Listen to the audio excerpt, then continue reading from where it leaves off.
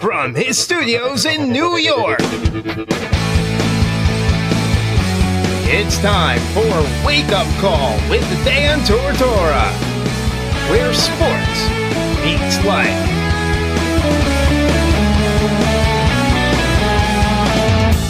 Here's your host, Dan Tortora.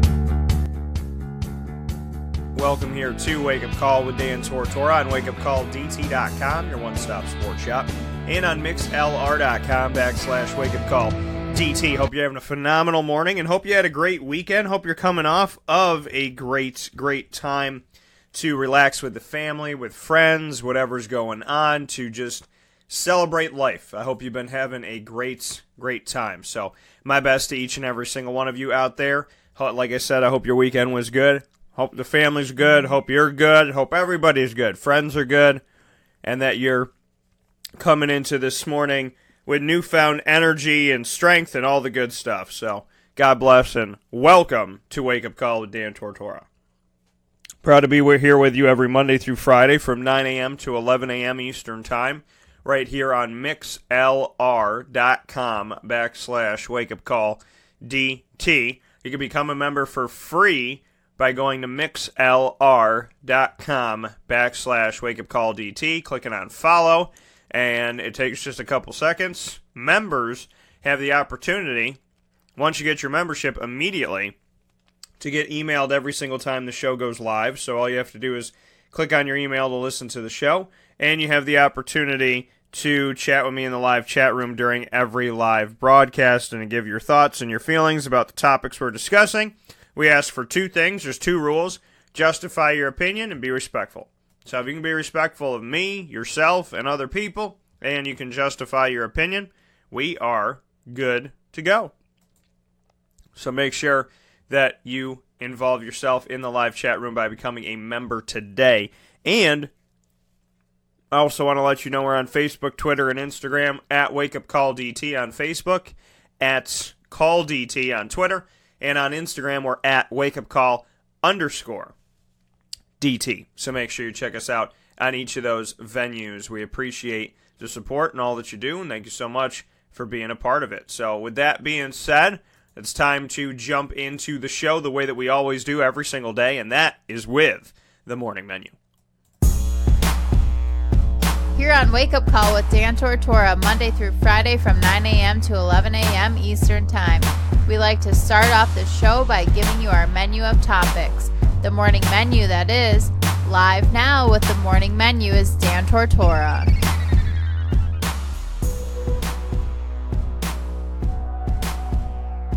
The morning menu right here every single Monday through Friday from 9 a.m. to 11 a.m. Eastern Time. That is the sound that you hear. That beat that gets you bumping in the morning. That beat that makes me feel good in the studio and getting ready to go and rearing for the day. The morning menu every single Monday through Friday, 9 a.m. to 11 a.m. Eastern Time, right here on Wake Up Call with Dan Tortora. With that being said, today's show, this is what we got on the docket. We're going to start off in this first hour speaking on Oshae Brissett his decision to return for year two that I was never really that concerned about because of our conversations. Multiple conversations, including the one that came after the Sweet 16, where him and I had a little talk about the team and leadership and looking to next season and what his thoughts were on next season. And everything he said to me pointed to I'm coming back. I'm going to be a leader. We're going to get this thing done. We're going to do this right. So, with that being said, I was not that concerned. And I thought it was kind of funny that other people, I should, well, I should, well, yeah, I guess funny. I guess funny is the word. That, you know, people were just freaking out about Oshae Brissett. Anybody that's good on Syracuse, anybody, anybody that makes it happen. I'm surprised that people aren't like, is Marek Dolezaj going to leave? But it's, you know, it, it, because he got good toward the end of the season. But it is. You know, Oshae pretty good. Came in with some hype. Tyus Battle, pretty good. Came in with some hype. So everybody's, oh my God, are they going to leave? Are they going to leave? Are they going to leave the team? Oh, what's going to happen? Are they going to leave? Are they going to leave? Are they going to leave like Darius Bazley? Are they not going to be here? I had, I was 90% minimum positive that Oshae Brissett was coming back next season.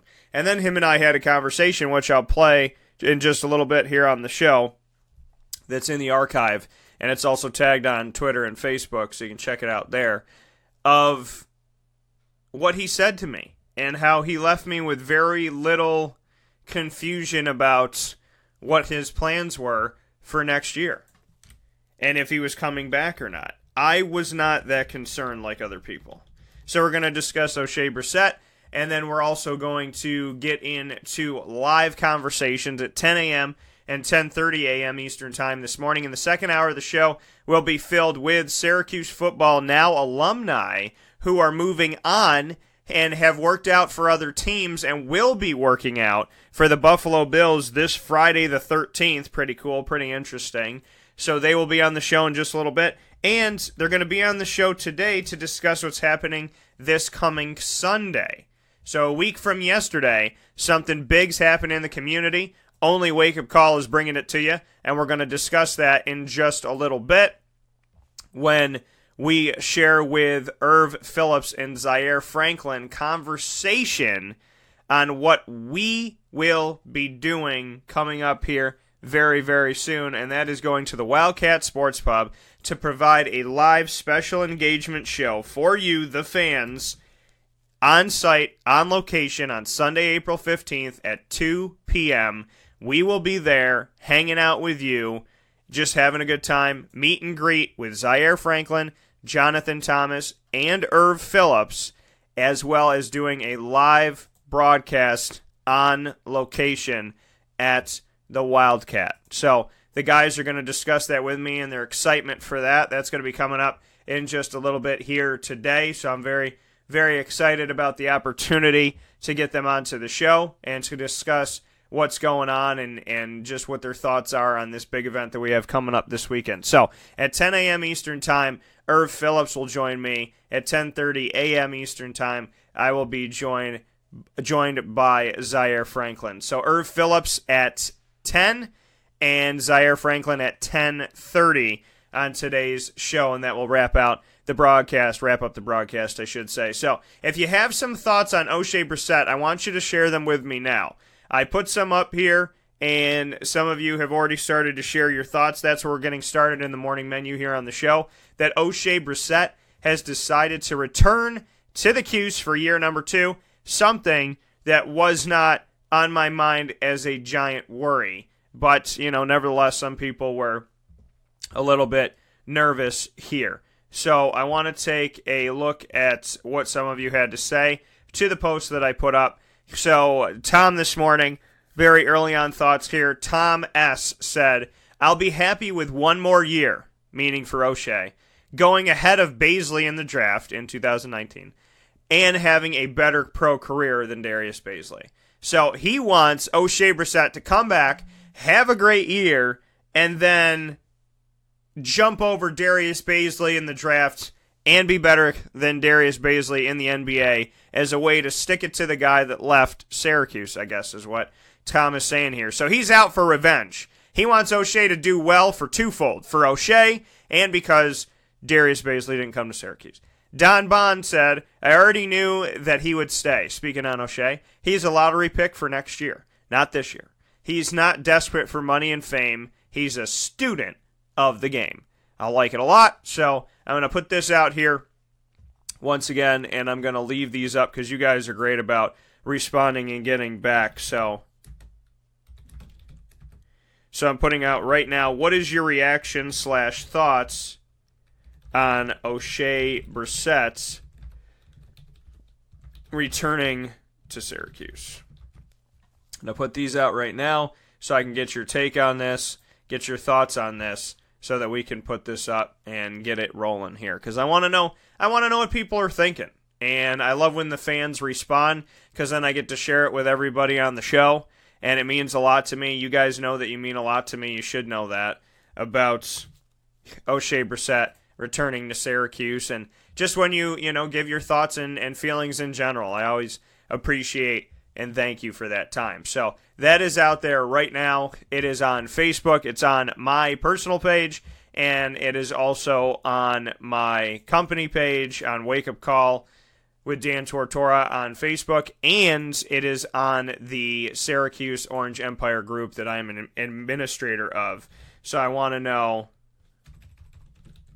what you're thinking right now.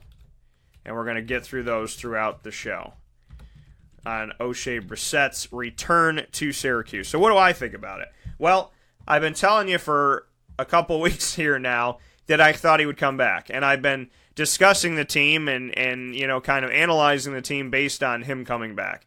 So, what do I think about it? Number 1, I think that it's a smart decision. I didn't see him leaving. I saw him staying. I saw him giving an opportunity to Syracuse, you know, one more time, one more go around here and seeing what the team can accomplish together. So I'm not surprised if people are looking for that. I'm not I'm not surprised that he's coming back, and I've stated that repeatedly. So no surprise for me. I think it's great for the team. I think that he came in with a lot of hype. I think that he went better than the hype that was around him. I think he gave even more than the hype that was around him. I think he brought something really good to the team.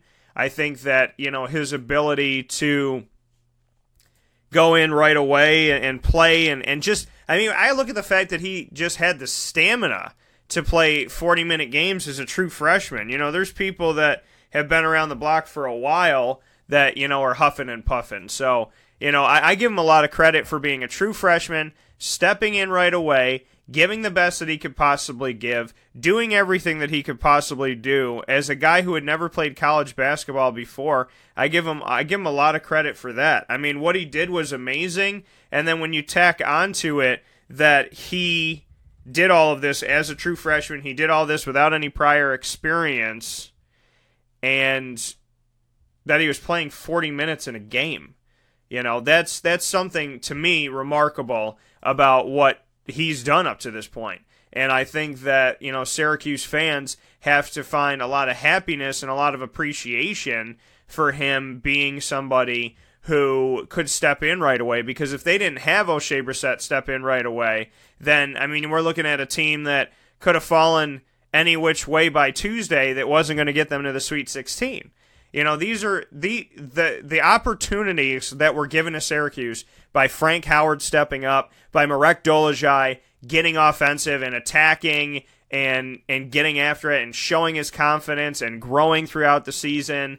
And I know people want to talk about Pascal's hands and this, that, and the other, but Pascal Chukwu at the charity stripe and then Oshae Brissett playing 40 minutes as a true freshman, the only true freshman that was asked to do that, getting after it, being effective right away. And then, you know, I called him three point play Oshae before the announcer did at the Dome, I believe. I believe I got to that within the first couple games. So I'm gonna I'm gonna I'm gonna take that copyright in TM. But three point play Oshae, I mean, that was one of the biggest parts of his game, is that he attacked the basket, he finished, and he was that guy that you could trust.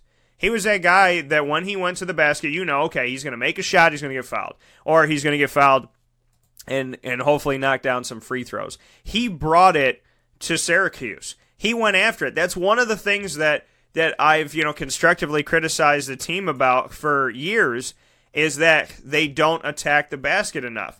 And if the shots aren't falling, they're not attacking the basket.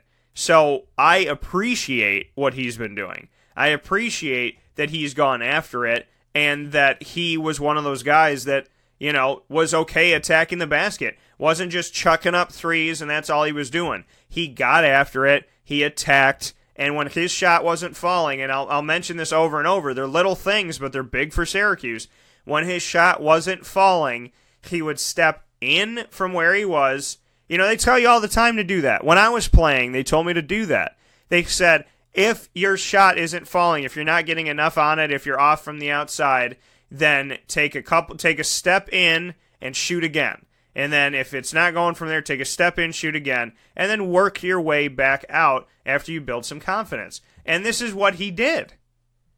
That's what he did. He constantly grew as a player and attacked as a player. And when things weren't falling, he would adjust his game and then get after it. And that's where I have a lot of appreciation for him. And I think fans should too, is that he wasn't a guy that did what a lot of people do, which is the definition of insanity. I'm not making the shot, so I'm going to take it 37 more times and hope to Jesus it goes in. He was creating for himself, and he was creating all over. He was creating at the rim, he was creating at the three point line, he was stepping inside and getting after it. I already got some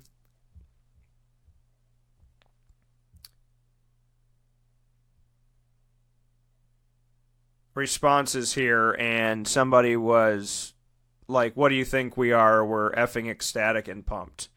So that's the reaction that we got so far this morning, is that people are ecstatic, and you know, other people saying, you know, I knew he would come back. I'm not worried about this. I I figured he would. Somebody else saying, you know, like I said this morning, I hope that Darius Bazley is is picked after him. I hope that he makes a run and and you know does well in the draft and this that and whatnot. So you know it's it's just it's exciting for me to see um, the fact that you know the fans are excited and kind of pumped about this and ready for this and and ready to see what this team can do and what they can bring forward as they move forward in their season because it, well in the upcoming season in 2018-19 because this Syracuse team is you know, with Tyus Battle coming back, which I think that he will, you know, the, this team is stacked for next year, and they have a lot of high hopes and a lot of opportunities. You know, I think that this Syracuse team is going to be even more dangerous than last year because they're going to have some depth. Now, I know that, you know, everything's prognosticating, so people want to know, well, you know, what about this and what about that and what do you think? And it, and I mean, honestly, I believe that this team is going to be dangerous. I believe that that this team, for everything they did this year with five and a half guys, is going to go into the 2018-19 season and have even more on the table, even more to give because Oshae Brissett has already gotten a season under his belt of playing 40 minutes. And with the depth, hopefully he won't have to play 40 minutes. But if he needs to, we, we know that he can. And then we look at the the rest of the team and what Syracuse has as as they move forward into 2018-19. You got Frank Howard who has already figured out how to be effective offensively. We know that he's coming in off of his best offensive season that he's ever had by far, better than his first 2 years combined. We know that Pascal is somebody who, you know, has to play with those goggles when he plays sports. I mean, that's how it's got to be from here on out after eye surgery. And, you know, I don't think people give him enough credit for having to play with those, how weird it is, how you got to get used to that, how when you're sweating in them, you have to you have to adjust to that. You know, it's all about why can't he catch the ball and why can't he this and that. Try and play with goggles for 10 minutes. Go out there with goggles, sweat in them, have have them get foggy, have them get wet and be playing out there and then the ball's coming flying at your face. You know, there's little things like that that people don't think about. It's not easy to play with goggles. Okay? It's just not. It's not easy at all. Yeah, they help you to see. Yeah, they protect his eyes, but that's an adjustment. There's some guys that played, you know, when they broke their nose and they play with like that clear Phantom of the Opera mask. Some people play really well and some people don't. Some people don't look like themselves at all. I remember when Rip Hamilton had it, I think it was an adjustment period. You know, Tyus Battle, if Tyus comes back and is a junior on this team, I mean, Tyus has shown his leadership, he's shown his poise, he's shown his ability to create for Syracuse. You know, there are op- there are times where people, you know, criticize the fact of, of why he was shooting certain shots and and how he wouldn't dish it off and this and that. I do think there's a benefit to him driving and di- and dishing and trusting in some of these guys and letting go of the ball and and giving some opportunity to other people because everyone's always going to be spying on him. There's always going to be eyes on him. I think he can use it more to his advantage. But, you know, we talk about the big time shots that he missed, but there's also a bunch that he made. And one of the ones that he made against Michigan State, that jumper, that step back jumper that he made, ended up helping to save Syracuse's season and move them forward into the Sweet 16. So, for all the things that people want to criticize Tyus Battle for, yeah, sometimes he forces up shots, but I feel like as the year went on, he got smarter. I feel like as the year went on, he got better and he didn't take those crazy shots. I really don't. You know, in my opinion, I don't feel like his shots were as ill advised later in the season as maybe in the early part of the season. So I want to give him credit where credit's due for that. That you know he's given the opportunity to the team to grow and advance and get better, and he's grown and advanced and gotten better and smarter in the game. So those that why is he taking that shot criticism to me is not there like it used to be. And that's big because he has to show his personal growth. The thing is, he's a good shooter, and they want the ball in his hands at the end of the game.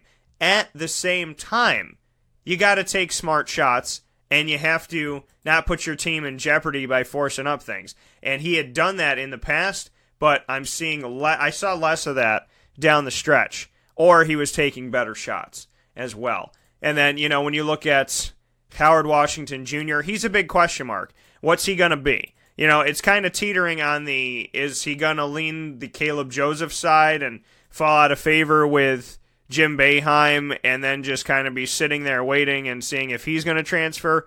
Or is this just one of those years where Boeheim, you know, didn't want to put him in and, and wanted to lean on Frank and thought it was a better decision and wanted Howard to have more time in practice? And then why didn't he redshirt him? So, I mean, there's questions that are going to come up in this situation because Howard Washington Jr. really didn't play. But there were moments when he was out there that even fans brought up. You know, he showed how effective he could be, made good passes, did some good things. So the question is, you know, where do we go from here with Howard Washington and what can he be? I mean, he's very close to Oshae Brissett. So there's an importance and a comfort level of him being there with Oshae. But at the same time, he's looking for his game. He's looking for his opportunities. So I'm interested to see where he's gonna what he's gonna you know where where he will land in the grand scheme of things when we look at the 2018-19 roster and season. Elijah Hughes, this is a guy who's worked on his body, worked on his strength, worked on his muscle, and is a jack of all trades. I'm looking at him to play guard. I'm looking at him to play forward. I'm looking at him to potentially run from point guard to shooting guard to small forward this season and show what he can do and how he can open the game up for Syracuse. So that's something that I think fans should be excited about because I'm excited to see what he's going to mean for this team, what's he, what he's going to do. And he has three seasons, so that's big for him. And then Jalen Carey and Buddy Boeheim, these are obvious question marks. We look on film and say, okay, this guy can do this and this guy can do that, but will it translate over into the collegiate game, and that's what we wait upon to see. When the game is faster, when more hands are up in your face, when you're doing this, that, and the other thing, is it going to look as good as it did in high school, look as good as it did in prep school? And that's what is going to take hard work, hard work, determination, and a push to see what these guys can do. So they're the question marks. You know, we go into this season with the Howard Washington question mark, the Elijah Hughes question mark, the Buddy Boeheim and Jalen Carey question marks. But Marek was trending up. Oshae Brissett was strong and almost averaging a double double this season. Bourama and Pascal, yeah, could work on their hands, but the team could also work on looking for them more. Tyus Battle and Frank Howard prove leadership. And I think with Frank being a senior, Tyus can say, you know what, Frank? Let's get in the backcourt and do this one more time together. I'm going to be with you one more time. I know you're a senior, and I can't imagine you being in the backcourt without me next to you. Let's let it ride. They bump fists and then they go to work. You know, that's what I see happening. I really do think the Tyus Battle is going to return. You know, I'm looking at some of these mock drafts, and some of them have them high, or no, I shouldn't say high. Some of them have them in the draft, and some don't. It's not like one has them in as as a second rounder, and the other one has them in as a first rounder, and this one's the upper first, and this one's the lower first he's in one of them at the bottom of the second round, and then or of the first round, and then he's not in the other ones. So you know, it's one of those things where you're looking at it going, okay, uh, he's there, but he's not. But he's not. You know what I mean? It's it's not the fact that you know there's just a little discrepancy. This person thinks he's going to go 25th. This person thinks he's going to go 21st. This person thinks he's going to go at the top of the second round. He's not really there. And you know, I and and like I said, these this can all change. It's all fluid. It is all fluid. I had somebody ask me last night what's going to happen. And it's all fluid. It really honestly is. Because when it comes to the NBA combine and working out for teams, you don't know what they're going to say. You don't know how they're going to react. You don't know what they're going to do. You don't know how they're viewing you. And you don't know where things are at until you work out. And once you know that, then that can change everything. Because we could be saying today, I think he's coming back. It makes sense for him to come back. But you have to ask yourself if you, like anybody else, like him or anybody trying to get into the NBA, if you go to the combine and you leave a phenomenal impression and they say to you, hey, we would love for you to come play for us. We think you're ready. We think that you're prepared. Everything that we saw showed us even more. We thought highly of you. Now we think even higher of you. And we would love the opportunity to put you on our team. And he hears that from enough teams, all of a sudden, it is a game changer. And that's what people need to understand and need to know is that right now, I think he's coming back. But this can change. This can change. And it has changed before. Because what you hear at this combine, that's what affects the move. That's what dictates where you go. So I, I think, you know, for Tyus, and people have to understand that. Tyus wants to go to the NBA, and so do many of these players. I mean, you'd be crazy to think that 99%, 95%, whatever it may be, you know, they want to go to the NBA. If I told any of these guys from any one of the universities and colleges out there that they could go to the NBA, I don't think that they would be like, no, nah, I'm good. Even the guys that maybe don't think that they could make it, if I told them right now that it could happen, they're going to give it a shot. They're going to give it an opportunity. So when I look at the dreams and the aspirations and the hopes of Oshae Brissett, it's not crazy for me to think that things can change based on what people are going to say. And you have to know that. You have to know that there is a chance that things could change here for the young man, depending on how people react to him at the combine. Now, I ultimately think that he would be better proven to come back. I think that there's more for him if he comes back. I think that there's plenty more for Syracuse if he comes back, and that that would be a huge opportunity for Syracuse. But you have to look at him as well. It can't just be, is it going to be a big help to Syracuse? How is Syracuse going to benefit? You have to think about him. And for Tyus, you know, there's always the question of if I come back, will I get hurt? If I come back, will it make me better? If I come back, will I go higher in the draft? Those are the questions that he has to ask himself. And if he says no, if those answers are no, you can't be mad at him if he decides to move forward because ultimately it's his decision and ultimately you have to respect it because this is his dream and his aspiration.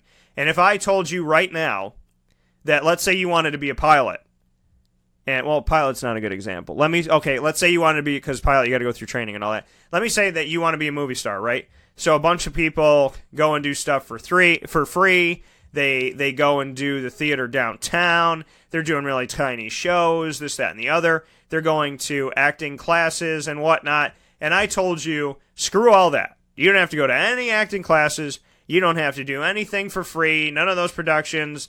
Not working for 14 hours for no money. With doing a job on the side just so people check you out and know your name and know who you are. I'm going to sign you right now. I'm going to put you in my movie right now after not seeing you in any of the stuff I believe in you. I like you. I think that you got a great face, a great attitude, and I feel like your acting is on point. So I'm going to put you on the team, or I'm going to put you on my team right now. We're going to shoot this movie. We're going to make it happen.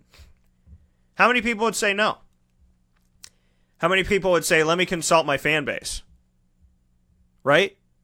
So that's the thing that, that people need to understand. And I'm not trying to come at hard and I'm not trying to come at negative. I'm trying to come at you real. And coming at you real is telling you that as much as you want him to be here, he's going to do whatever he wants to do. He's going to do what he feels like doing.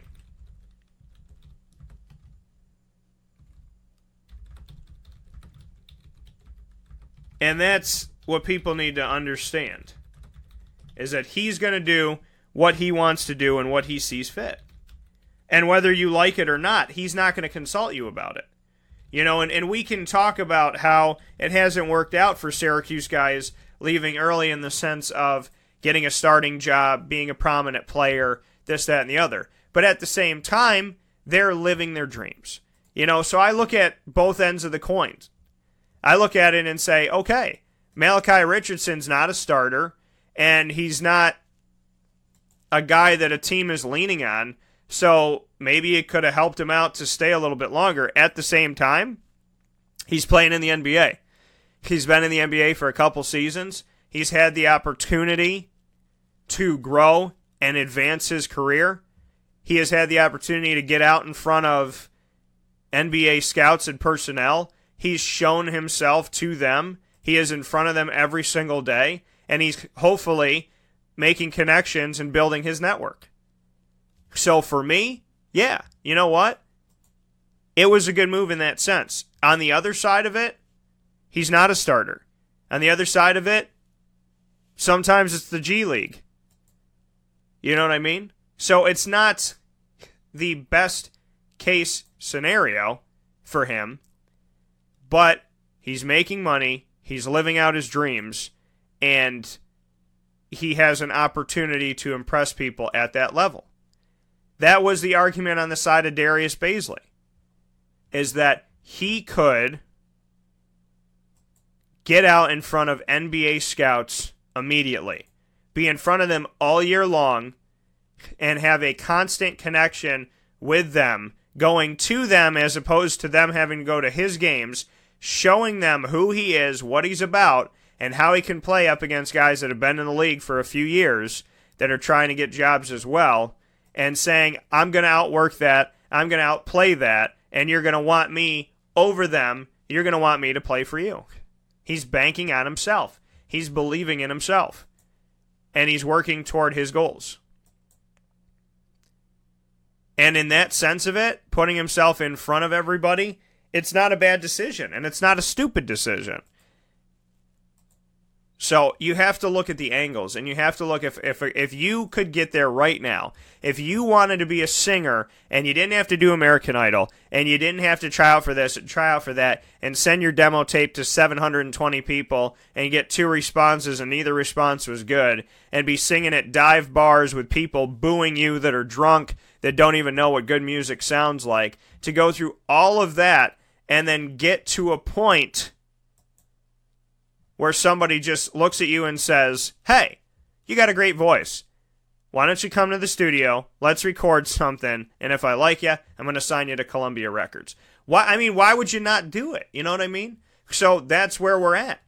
And that's the conversation with Tyus Battle is if somebody wants him right now, why say no?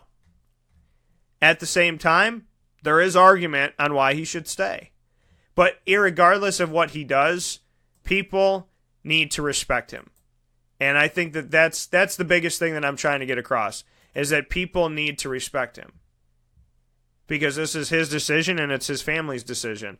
And in the case of Oshae Brissett, I wasn't surprised.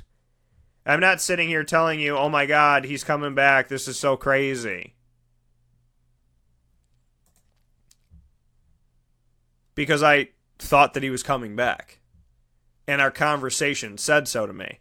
And we're going to take a step aside here on the show and come back with that conversation with Oshae Brissett and what he had to say to me right after the loss in the Sweet 16 to Duke. We'll listen into that after this fast break. This is a wake up call, fast break. Carvel DeWitt, it's what happy tastes like. Do you know why? Because we make ice cream. Creamy, rich, flavorful ice cream. Not yogurt or ice milk like some of our competitors. Ice cream. Fresh, by hand, daily. For the calorie conscious, we have something new for you. Our new Carvelite. Same great flavor, creaminess, and texture of our regular ice cream with only 35 calories an ounce. So whether you want an ice cream cake, flying saucer, dasher, carvalanche, hard or soft ice cream, we will satisfy your craving with our fresh, handmade regular or new Carvelite ice cream. Carvel DeWitt. It's what happy tastes like. This is Lawrence Papaleo, licensed real estate salesperson for Gilbo Realty. Call our home office at 315 752 9513, or better yet, call or text me directly at 315 748 2524. Let me ask you a question, Lawrence. If I needed you to help me buy a house, find the right place, could you help me do that? Joe, I'll help you find your dream home. You don't ever say my name on the radio, never. If I needed to sell a house, could you help me go about that the right way? Yes, yes, I can. How do they get a hold of you? Call me directly at 315 748 2524. But you also do the commercial property. So if I got a business, couple businesses, got to take one here, move it over there, do this, do that, are you going to help me buy and sell my commercial property also? Yes, sir. I like that. I like that. What's my name again? I have no idea. Absolutely, but they need to know your name, so give it one more time. This is Lawrence Papaleo, licensed real estate salesperson for Gilbo Realty. My phone number is 315 748 2524. Why don't you tell them your name one more time and that number so we can jot it down? This is Lawrence Papaleo. Call me or text me directly at 315 748 2524. Clothing that will change with you without you having to change. DreissigLady.com, D R E I S S I G Lady.com, with the bamboo line Relax Fit clothing as well as the athletic fit clothing. DreissigLady.com is fit for any woman, any time of the day, anywhere. Whatever you're doing, whatever your day commands of you, command yourself to feel comfortable in Dreissig Lady Apparel. D R E I S S I G Lady.com. For all the women out there, feel good in what you're wearing and don't feel like you have to constantly change throughout the day. Whether you're a stay at home mom, a business owner, going for a jog, going for a meeting, or just relaxing at home, DreissigLady.com is the right fit for you. D R E I S S I G Lady.com.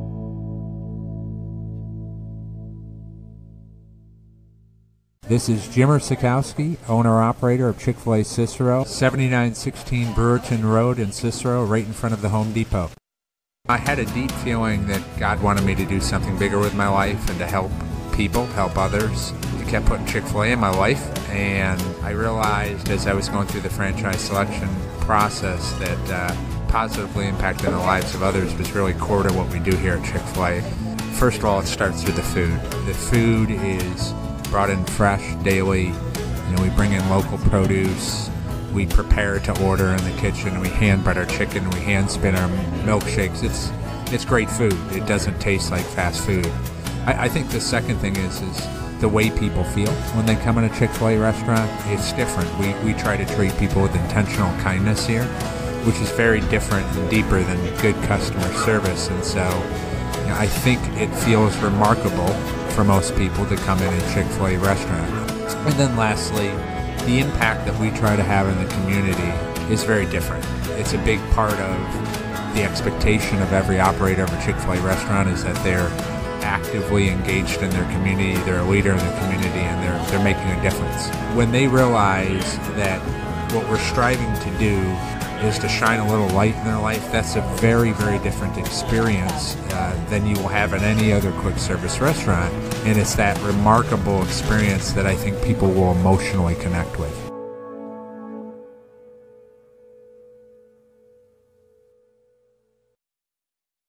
Welcome back here to Wake Up Call with Dan Tortora on wakeupcalldt.com, your one stop sports shop, and on mixlr.com backslash wake up call DT. I let y'all know that I had a conversation with Oshae Brissett. I aired it. I let you listen to it a couple weeks ago. And coming off of his decision to stay with the Syracuse Orange and continue to grow with this team as a sophomore was no surprise to me. And that was coming off of a conversation like this one. We had a couple from we had a one after the ACC tournament when they when they had lost the ACC tournament in their second game, and then we followed our conversation when they wrapped up the season in the Sweet 16 about looking to the future and, and just what his thoughts were. Here is the full conversation with Oshae Brissett between him and myself in Omaha, Nebraska, following the game against Duke inside of the Sweet 16, where I really honestly heard him say, I'm coming back. And this was weeks before the decision, weeks before the prognosticating. This is what Oshae had to say to me, and this is why I felt confident he would be back. First times in the second half where you guys came within one, just what you could say the separation was from them. Uh, you know, they got easy buckets. We worked for, you know, every bucket we uh, tried to get. Um, you know, fouls, free throws, um, contested shots, um, while they were getting, you know, easy tip in, stuff like that. So, you know, easy bucket compared to a tough bucket, you know, it's always going to be the easy one that comes out on top just what you can say defensively that you were seeing going up against them. You know, when you guys were in your zone, just how they moved around, just what led to some of those easy buckets, those baseline moves that they made. Um, it was just you know lobs. Really, they didn't do anything special. Um, we got up on their shooters really well. Uh, they missed about seven or something in a row. Um, but you know, you just got to give credit to you know their big guys down low. Uh, you know, grabbing those rebounds, putting the back up, or you know, catching the lob that they were throwing. So uh, you know, they didn't do anything. You know, that was something that we haven't seen before. It was very ordinary, but you know, it's just they have those those guys down low. What was the separation in your opinion? Was it the turnovers? You know, the, I know there was two turnovers back to back that led to points for them. Do you think that that ultimately was the difference? Um, you know, I can't really pinpoint one thing. Um, you know, in a whole, there was a lot of mistakes that we made that you know we should have capitalized on. Uh, once we got them, you know, where we wanted them on defense, they weren't scoring. We should have capitalized on the offensive end. Um, but you know, it's just it's everything in a whole. You can't really say talk about one thing. You guys, not just in this game, but in other games inside of this tournament, pushed those teams into foul trouble, got them in the bonus early, and then got to go to the line. Just what you could say about doing things like that, knowing that you don't have a deep bench, but you were able to get some freebies there, not just in this game, but throughout the tournament. Um, you know, that's been the mindset, uh, especially today in the second half. Coach told us to attack. Um, you know, we got in the middle a lot, attacked myself, I attacked a lot, and you know, getting them into foul trouble, like you said. So uh, just sticking with the same mindset, uh, knowing that we gotta, you know, attack everybody. You know, it doesn't matter who. Um, something that we gotta do. Down the stretch, it was still a game, and you had that leaner. Just what you can say about that. I mean, it's phenomenal play offensively. Mm-hmm. Just what you can say about that. Uh, you know, coach, coach told me to get the ball, make a play, and um, you know, he guys trusted me, and I knew, you know, I was gonna knock it down, whatever happened. Um, you know, just just another play. You're a true freshman, and you got to go to the NCAA tournament your first season. You guys won three games in five days. Just what you could say about, you know, even though it doesn't end the way that you want it to, just what you took away from it, especially knowing that you were one of those guys that had to play 40 minutes, and when you're playing three in five days. Uh, you know, it's thrilling. Something that a lot of guys don't get to experience, even you know, upperclassmen. Um, you know, I'm just so blessed, you know, with the abilities that I have to come in here and um, you know play the minutes that I do, and you know get get the role that I have on this team. Um, you know, it's a great team, a lot of great players on, on the squad. So, you know, I'm just blessed that coach, you know, put me in that role. So, you know, the guys that are coming in next year, I feel like I'm able to educate them and let them know, you know, a lot about, you know, how the season should be and, you know, stuff like that. Tyus stepped up as a leader as a sophomore this season. You're talking about being a leader next year as a sophomore. Just bring me into that. Um, you know, you come in as a freshman, you know, wanting to learn. Um, great players always, you know, learn first before they try to, you know, lead. Uh, and you know, I had you know two guys, two great players in front of me, uh, teaching me the ways, teaching me how you know Syracuse basketball is supposed to be. Uh, Tyus and Frank. So you know, next year I feel like, you know, like I said, I could you know help those guys out um, because I've you know I've been here and I've experienced so much. So um, you know, the guys that are coming in next year, I'll be able to you know just calm them down because um, I know you know as a freshman coming in, there's a lot of pressure, especially those guys there, you know, top ranked players. Um, so there's gonna be a lot of pressure on them to do well. But um, you know, I feel like I'll be able to you know help them and you know just settle them down a little bit so the game comes easy. Honestly, for me, just what you could say about the biggest pieces of knowledge that you learned that you've taken away from Frank and Tyus at this point. Um, just attack everybody. Um, you know, those guys they they have that scoring mindset, and you know that's something that I'm really trying to get. Um, you know, watching Tyus play, um, see him go at, at anyone that's in front of him is you know it's something great to see. So, you know, um, I'm just gonna add that that piece to my game. You know, whoever's in front of me, just try to go at them because you know I know I have the skill for it. So um, you know that's that's just a you know personal thing, um, just taking it that, any, that anyone's in front of me. That coming from Oshae Brissett. So you hear in the conversation next season, next season, I want to be a leader. I know what I have to do. I know I know what I took away. I know my bumps. And so when somebody else is going through that, somebody else is experiencing that, I know how to help you through that. I know how to help you get forward, get better, to grow. I've been through those waters. I will help you navigate them from here next season. So, I mean, that's what he and that's what he said to me in Omaha. So I wasn't concerned, and I wasn't concerned before that because I had talked to him about it, and I said, "Do you have any thought?" And he started laughing. He goes, "None at all." He said, "I have not thought one bit about any of that." You know, and and, and that that's one of those things where I believe he's coming back, but I throw that question out there to them to to him and, and speak with him on it because of the fact that so many people are convinced that these guys they're leaving they're going oh my god they're going to leave they're going to go there's no way that they're going to stay they don't want to be here anymore. You know that that's not always on their mindsets. Yes it is their dream but you know these guys have good heads on their shoulders and they educate themselves. So that's something that you know i just when i was speaking with Oshae, and and just you know conversing with him throughout the season you know i got that vibe that he wants to be at Syracuse. He wants to grow at Syracuse. So over the weekend, he says, I'm ready for season two, ready to get after it, that they have unfinished business. And I agree. Yes, they do. And you know what, folks? I'm not surprised that he's coming back for this unfinished business, and you shouldn't be surprised either. So fans got great news, but it wasn't like, to me, it was crazy news. They got the news that I thought we would get, and that is that he is coming back to Syracuse and going to be a part of the Orange one more time. And this nucleus, you know, it is, it can happen. I know that it doesn't happen a ton, but it can happen. This whole guys coming back to have one more run together, you know? Because there's players that play as teams, and then there's players that just play, right? Kentucky just plays ball.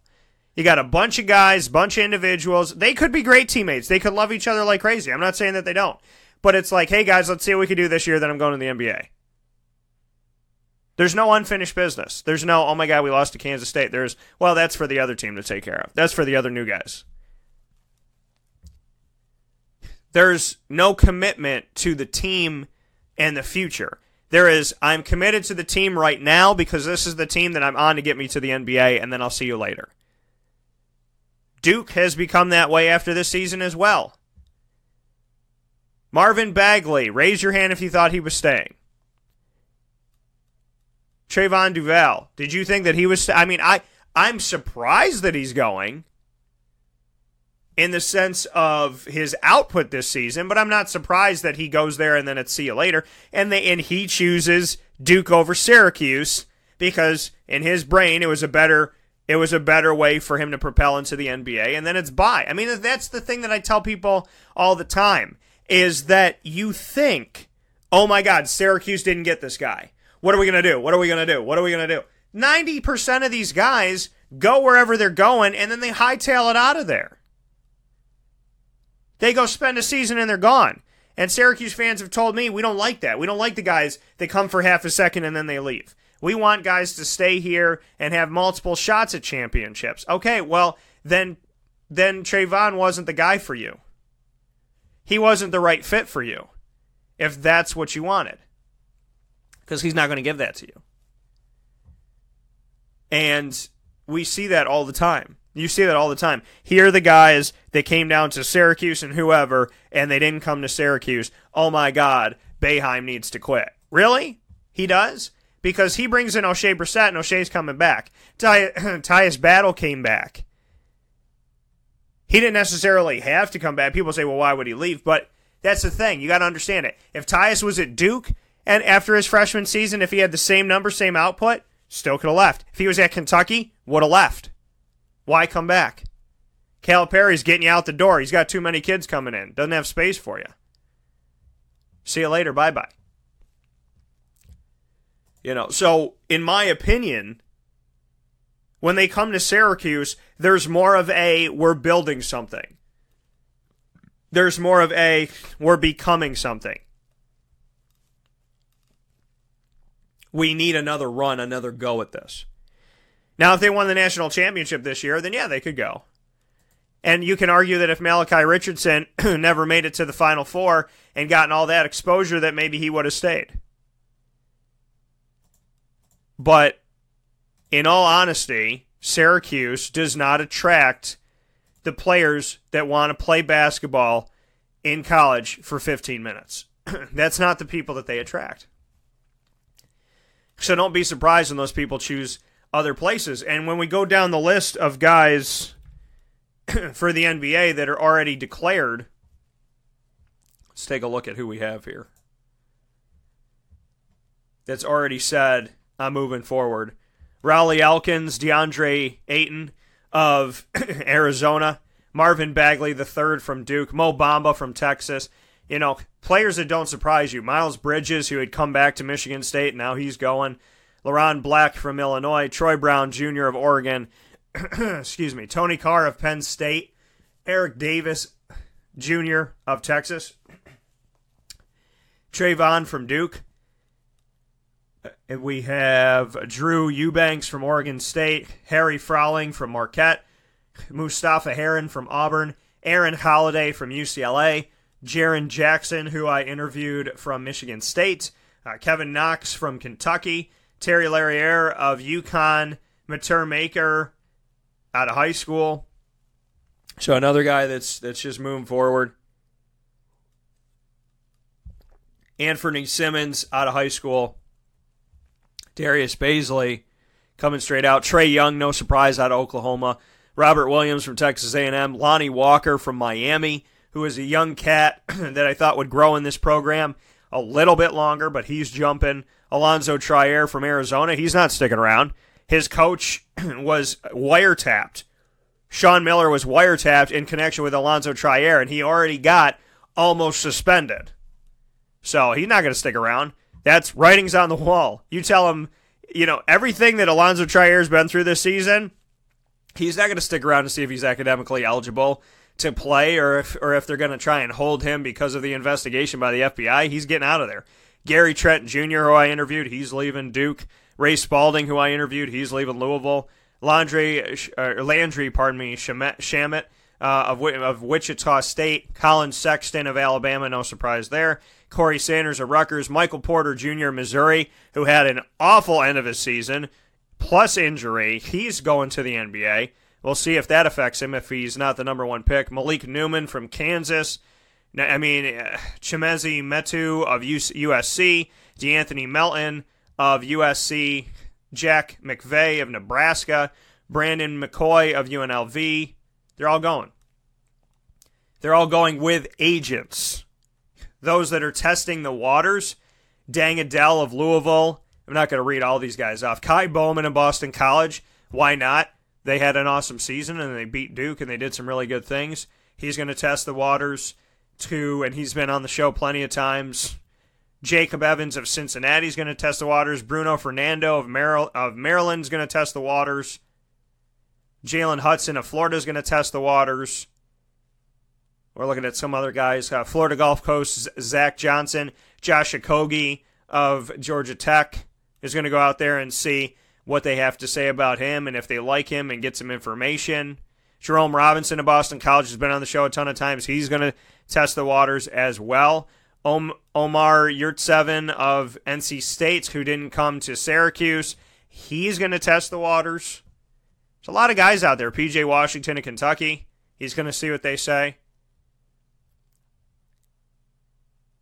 And then we know that Daniel Gafford of Arkansas Rui Hachimura of Gonzaga, Gonzaga, pardon me, Markis McDuffie of Wichita State, DeMarcus Simmons of Georgia State, and Oshae Brissett of Syracuse. We know that they're coming back.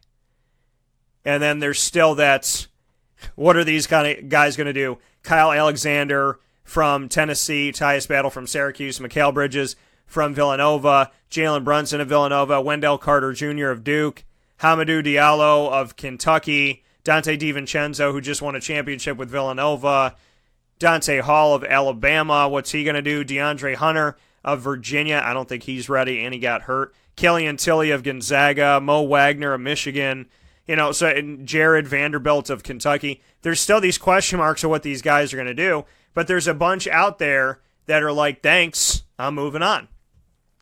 We appreciate the time, and we're going to go on from here and do what we got to do, coach. Thanks so much for having us, and we had a good time. Some of these guys stick around, but there's nothing wrong. And I, this is one thing I love about the NBA. They are they allow you to test the waters now. You don't have to sign an agent and go into the draft and be completely screwed. Okay, you don't sign an agent. You say I want to go to the combine. The combine invites you and says, "Come on over."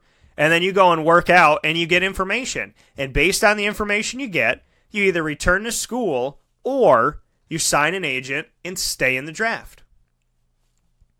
It's a great opportunity.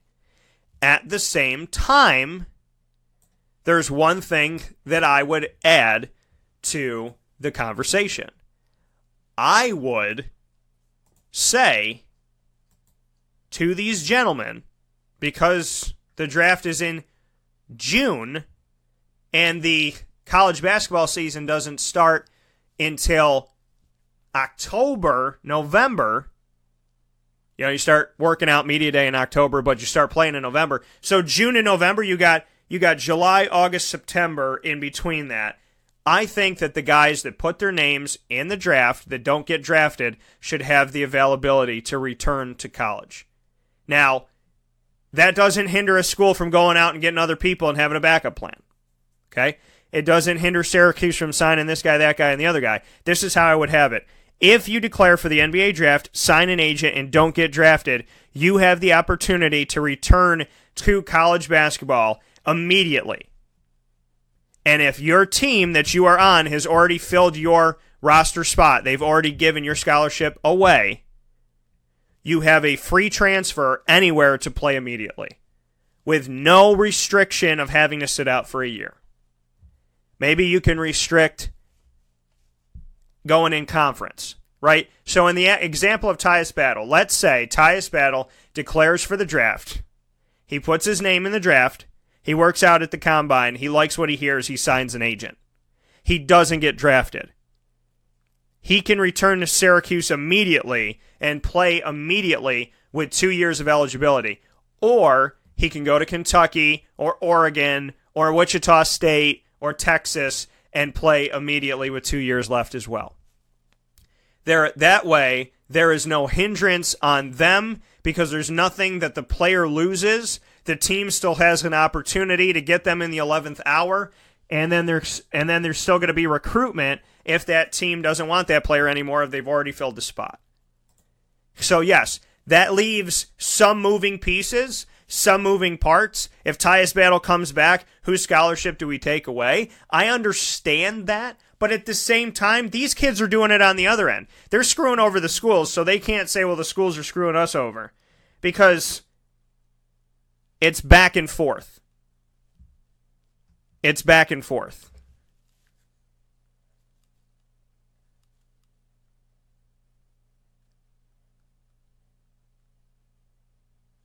The players decide in the 11th hour, I'm not coming to that school, Darius Bazley. So the school can decide in the 11th hour, you know, we don't want to take you back, but you're free to play where you want to play. I think that there has to be a protection on both sides. There has to be a protection, in my opinion, on both sides.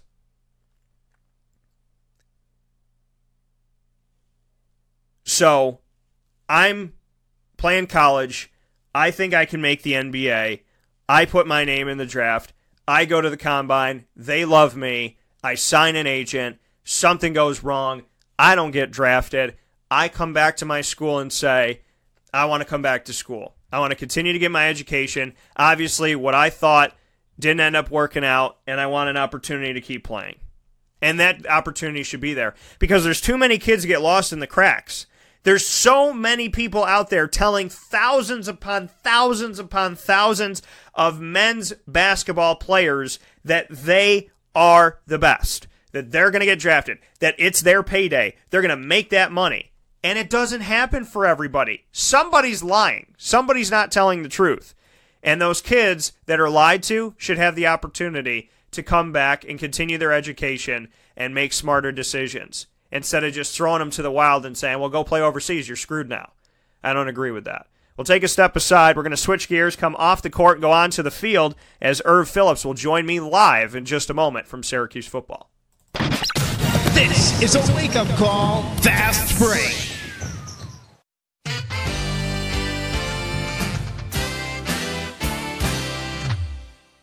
Hi, this is Domenico Vitali, owner of Giovanni's Formal Wear, where you look great and feel even better with our renowned tailoring and alteration services on any suit or any tuxedo from anywhere.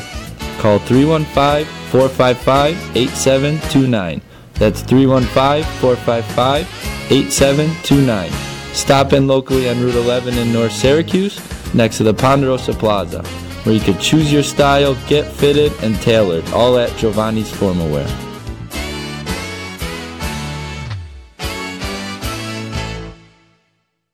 I'm George Townsend of Honda City with some good advice when buying a new car. The true cost of owning a new car is determined by the appraised value when you trade it. No vehicle appraises higher than a Honda. Next, look for low APRs and deep discounts. You also want low maintenance costs and great fuel economy. That's why my advice to you is to buy a new Honda. Looking pre-owned, visit our Honda Certified Used Car Center. Honda City, 7140 Henry Clay Boulevard, Liverpool, or HondaCity-CNY.com. For all of us that have always wanted our favorite restaurant to come to us, it's now a reality in Central New York with It's a Utica Thing, with Utica Pizza Company bringing their wonderful recipes that they've handed down through generations to you, to your event, to your business, to your home. It's a Utica Thing, proudly bringing Utica Pizza Company on wheels to your location. Call 315 738 8946. That's 315 738 8946 to bring Utica Pizza Company to your doorstep with It's a Utica Thing. This is Jimmer Sikowski, owner operator of Chick fil A Cicero, 7916 Brewerton Road in Cicero, right in front of the Home Depot. I had a deep feeling that God wanted me to do something bigger with my life and to help people, help others. I kept putting Chick fil A in my life, and I realized as I was going through the franchise selection process that uh, positively impacting the lives of others was really core to what we do here at Chick fil A. First of all, it starts with the food. The food is brought in fresh daily. You know, we bring in local produce. We prepare to order in the kitchen. We hand bread our chicken. We hand spin our milkshakes. It's it's great food. It doesn't taste like fast food.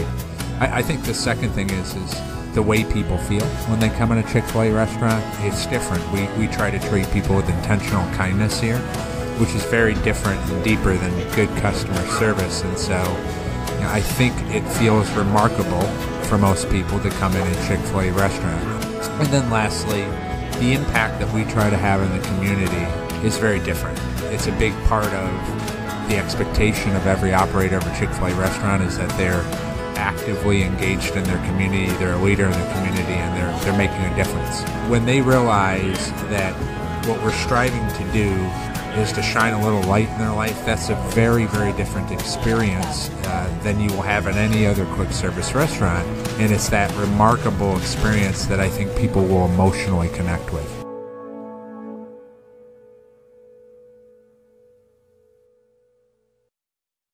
Welcome back here to Wake Up Call with Dan Tortora on wakeupcalldt.com, your one stop sports shop, and on mixlr.com backslash wakeupcalldt. Happy to be here with you this morning and every Monday through Friday from 9 a.m. to 11 a.m. Eastern Time on mixlr.com backslash wake up call DT. And coming up right now, live on the line, is Erv Philips, played running back, H-back, and wide receiver during his time at Syracuse. A jack of all trades, but something that can help him out when it comes to the NFL hopes and the draft that is coming up very shortly here. He will be joining us before that draft on Sunday, April 15th at 2 p.m. this coming Sunday at the Wildcat Sports Pub for a live special engagement show and to see the fans one more time. But before that, he's here with us this morning. Erv, how you doing today? Good, Dan. I'm doing great. How about you? I'm doing well, and and and Erv, you know, you've been obviously working out and getting some opportunities with teams out there. Just what you can say about what this experience has been like for you so far. I guess I want to start with Pro Day and what you took away from Pro Day at Syracuse. Um, I think Pro Day was a great experience to get out there in front of the scouts and just show what I had. Um, I was working out for a while, you know, I've been working for it for a while, you know, a couple months. And it was, it was good to finally just get out there and just, just show my talent and just, you know, uh, get opportunity to just, just showcase what I've been working on. And what can you say about, you know, how many teams were there? I know it's a closed off thing to the community and, and whatnot, but how many teams were you able to work out in front of when it came to Pro Day? Um, I believe there's about 20 teams there, if I'm not mistaken. So you have 20 teams out there. Do they take you aside? Do they talk to you at all? Was there any conversation? Were they just there watching and and that was it, or was there any interaction? Um, after after pro day, I talked to a couple teams and um, they gave me some feedback on a couple of things and uh, we basically just talked about uh, a little bit, just trying to get to know me and uh, some things about you know me personally and things like that.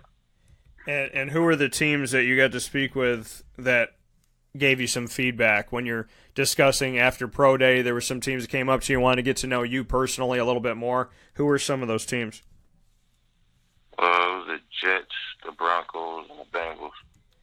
So the Jets, the Broncos, and the Bengals. I want to start with the Jets. What was that experience like, and, and what was your takeaway from that? What can you say about you know how the Jets interacted with you and what they took away from you? Um, basically, uh, com- complimented me on my career at Syracuse, and um, basically uh, talked about the things that I, I was able to accomplish, and uh, my consistency and things like that. Um, he just was telling me about how I was a, I was a real good receiver, and um, talking to a lot of things. And then as far as the Broncos, what was their interaction like? What do they have to say? Um, he he more was uh, talking about he wanted to find out more about my knowledge of the game.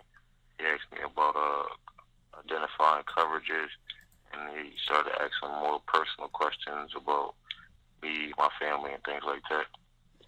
And and when they ask you more personal questions, speaking here with Erv Philips, now a Syracuse football alum, as he heads toward the NFL draft coming up at the end of the month.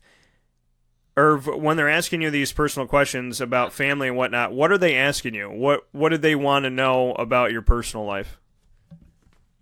Um, basically where I grew up, uh, my type of personality, what kind of person am I, my siblings, um, uh, where I played ball at in high school, things like that.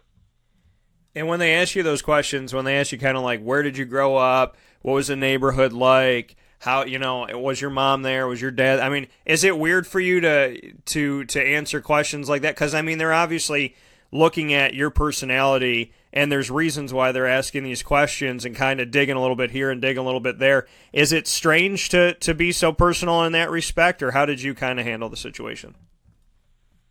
Um, I didn't really look at it that way. I just looked at it like they, you know, they if they do pick me up or whatever the case is, you know, they want to know everything about me, and because they're invested in me, so I just looked at it as they they just want to make sure they know the type of player they're going to be taking, or if if I'm the kind of player they want to take.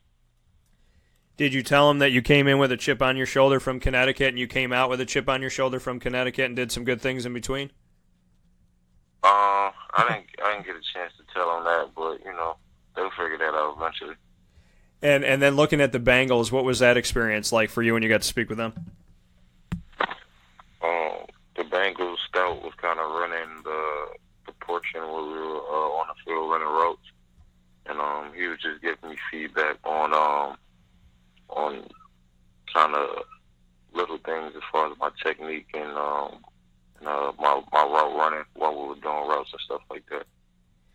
So when you went through pro day, I mean, it was your first pro day. You've seen other guys do it and heard about, you know, what some of your teammates had to go through and whatnot. Overall, what was the experience like for you? What can you say about actually doing your own pro day and coming off of that? Um, I think once you get out there, your adrenaline is rushing. You know, obviously, it's something that you're preparing for. You kind of, you know, kind of got the butterflies before, but once you pretty much get out there, it's like pretty much natural. You're just going out there and doing what you've been doing, you know, for a while. So I would say it, was just a, a normal like workout, but just in front of a, a bunch of people. I feel like I was pretty much relaxed, and it was just it was just a normal routine. Because I just been preparing for it for so long. Speaking here with now Syracuse football alum as well as NFL prospect Erv Philips. Erv, you played H back, you played running back, you played wide receiver. The versatility, just what you can say about that when you finally went through pro day, how that versatility helps you, and just what you think that can do for you moving forward. That you've played in multiple different offenses at Syracuse and playing within different offenses, you've also had different roles. Um, I think that could play into my advantage because, uh, you know, the more you can do, I think the more valuable you are. So, uh, the fact that I've, I did multiple things and, um, and I have that ability, I think that, that ups my stock and makes me a little bit more valuable because they can use me in different ways. So, I think that's, that's good on my end and and to see you know the the fact that you've been able to do different things and whatnot at wide at wide receiver and at running back. Do you? I mean, do they see you as a wide re- wide receiver? Are they looking at you in that respect, or do they? Do you get the notion that some of these scouts are kind of looking at you still as a jack of all trades and somebody who can do a lot of different things. I mean, what's been kind of the vibe that you're getting? Is it traditional wide receiver or is it more of a slash type of opportunity? Um, most of the scouts see me um, having the ability to play a, a slot receiver role, but um, that's that's what I've been getting back for the most part. And then after you got to talk with those teams, uh, speaking here on Wake Up Call with Dan Tortora with Erv Philips, you got the opportunity to move forward from there after pro day, after conversations with the Jets, the Broncos, and the Bengals, you have since worked out for the Seahawks, the Niners, and the Giants. I want to start out with the Seahawks and the Niners. I know that that they both came this way. You didn't have to go out that way. What was the experience like with the Seahawks? We'll start there. Um, that was that was just one on one, more personal.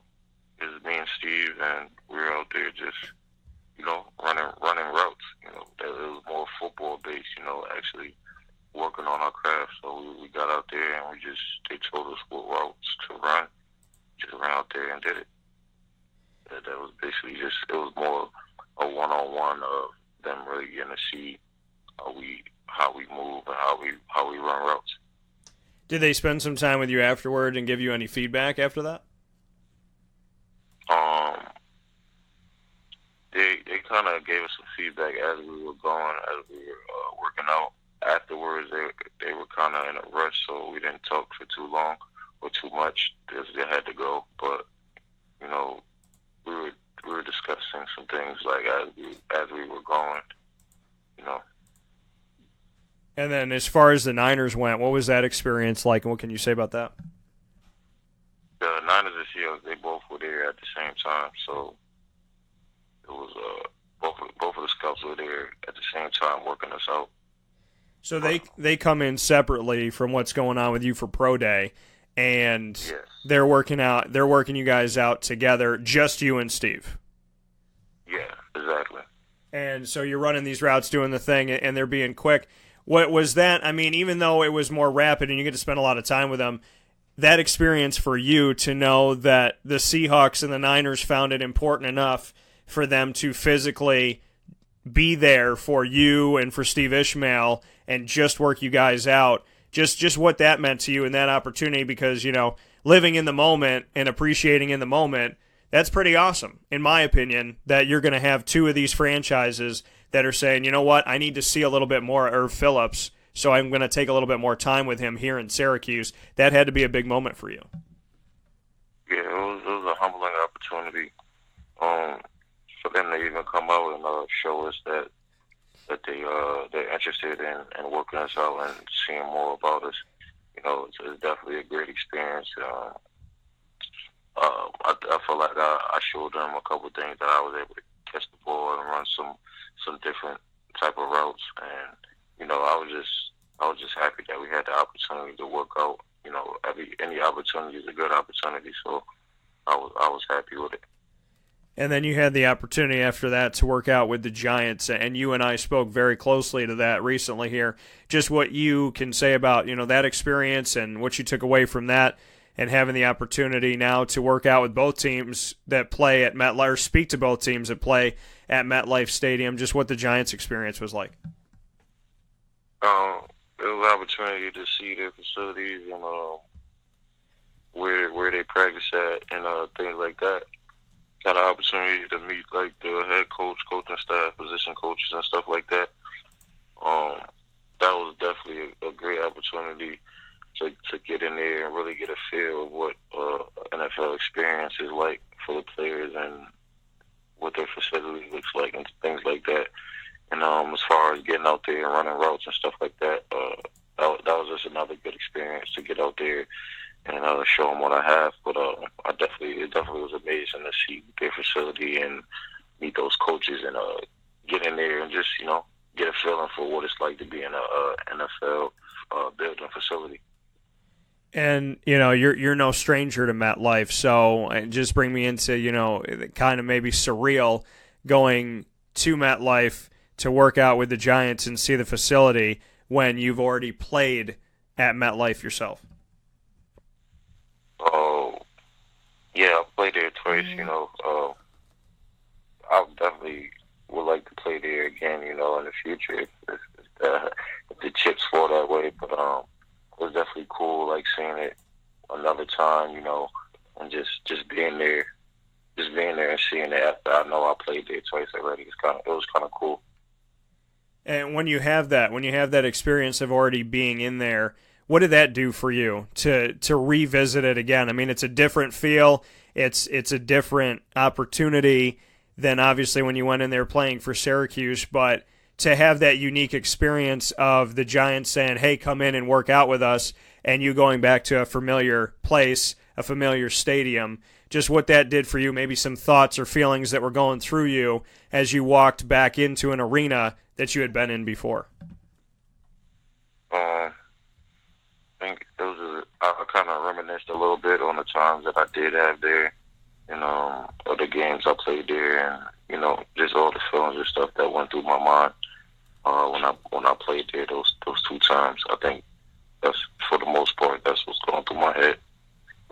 and and having that experience and, and having that opportunity, you know, Syracuse fans don't like when games are away from home. They're not big fans of taking it away from the dome. But for you as a player, what can you say about the experience of it all? I mean, do you do you honestly feel that that experience of, of being at MetLife and, and playing there a couple times and having that home game be away, so to speak, was was a good experience for you and a good opportunity? How do you view it as a player that you got to play in an NFL stadium, not once but twice?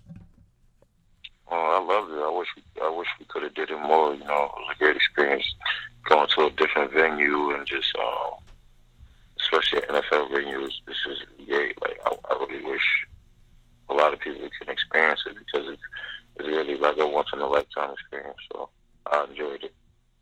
That coming from Erv Philips. And Erv, you got on Friday the 13th, you will have an opportunity to work out with the Buffalo Bills. You will be with teammates, linebackers Jonathan Thomas and Zaire Franklin. You'll be doing your thing, they'll be doing their thing.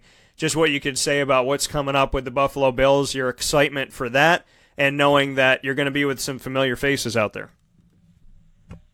Well, just another opportunity, man. Just another opportunity to go out there and showcase my skills. Um, I'm glad and humbled that I have another opportunity like this to um, to, to show them what what I have. You know, uh, you know, I'm just preparing by just staying in shape, uh, running roads, staying crisp. You know, going out there and just make sure I'm prepared to show these coaches what I have.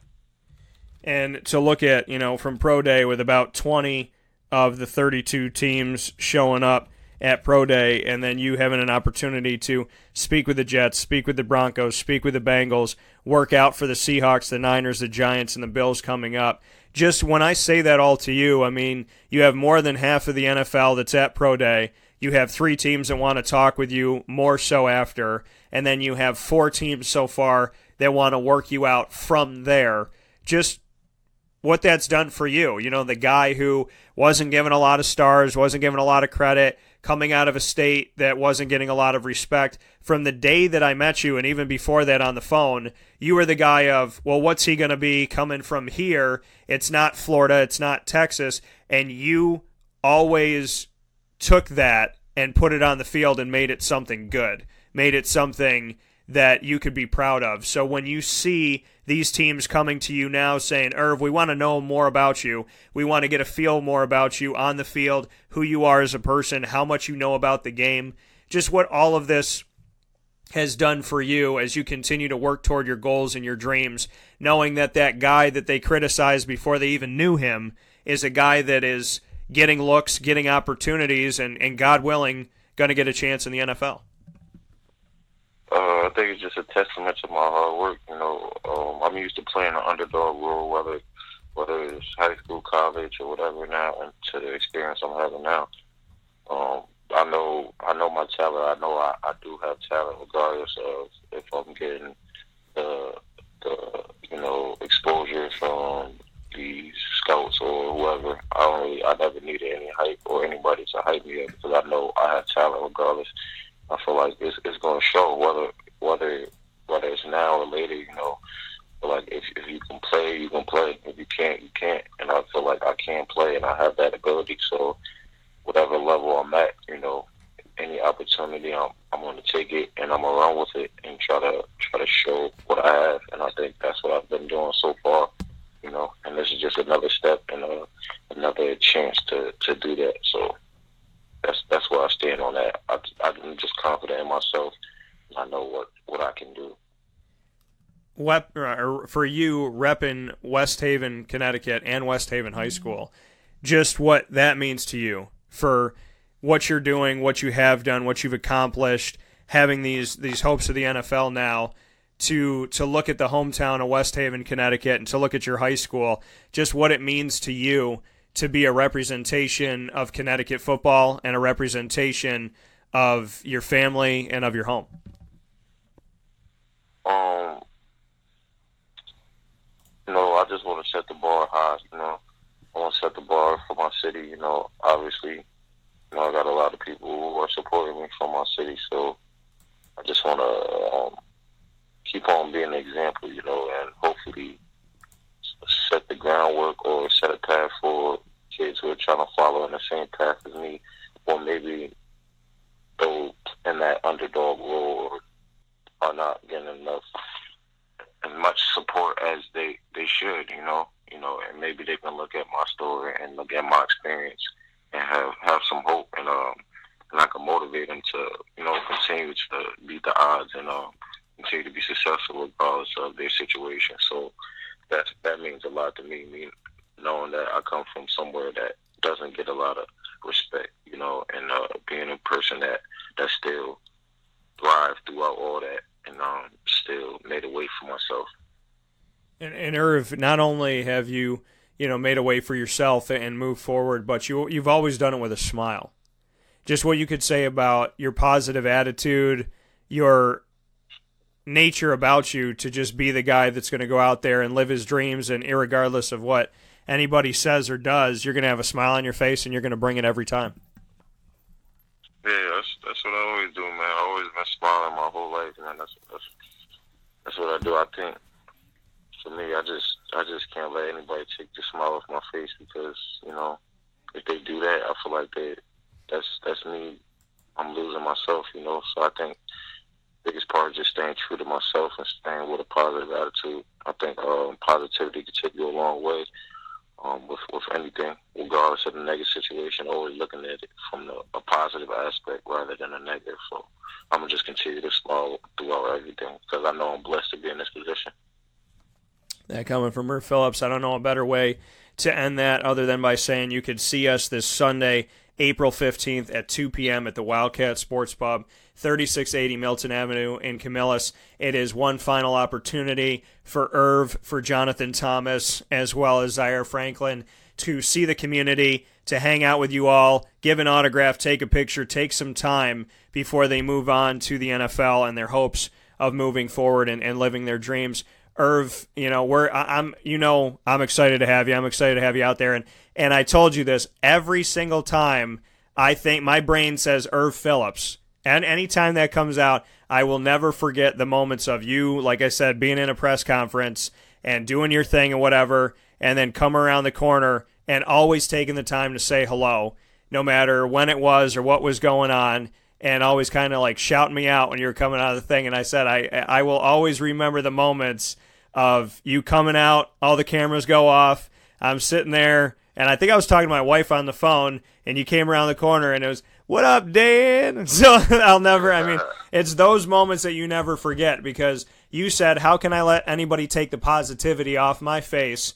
How if I let them take my smile, then I'm going to lose myself. I'm not going to be me."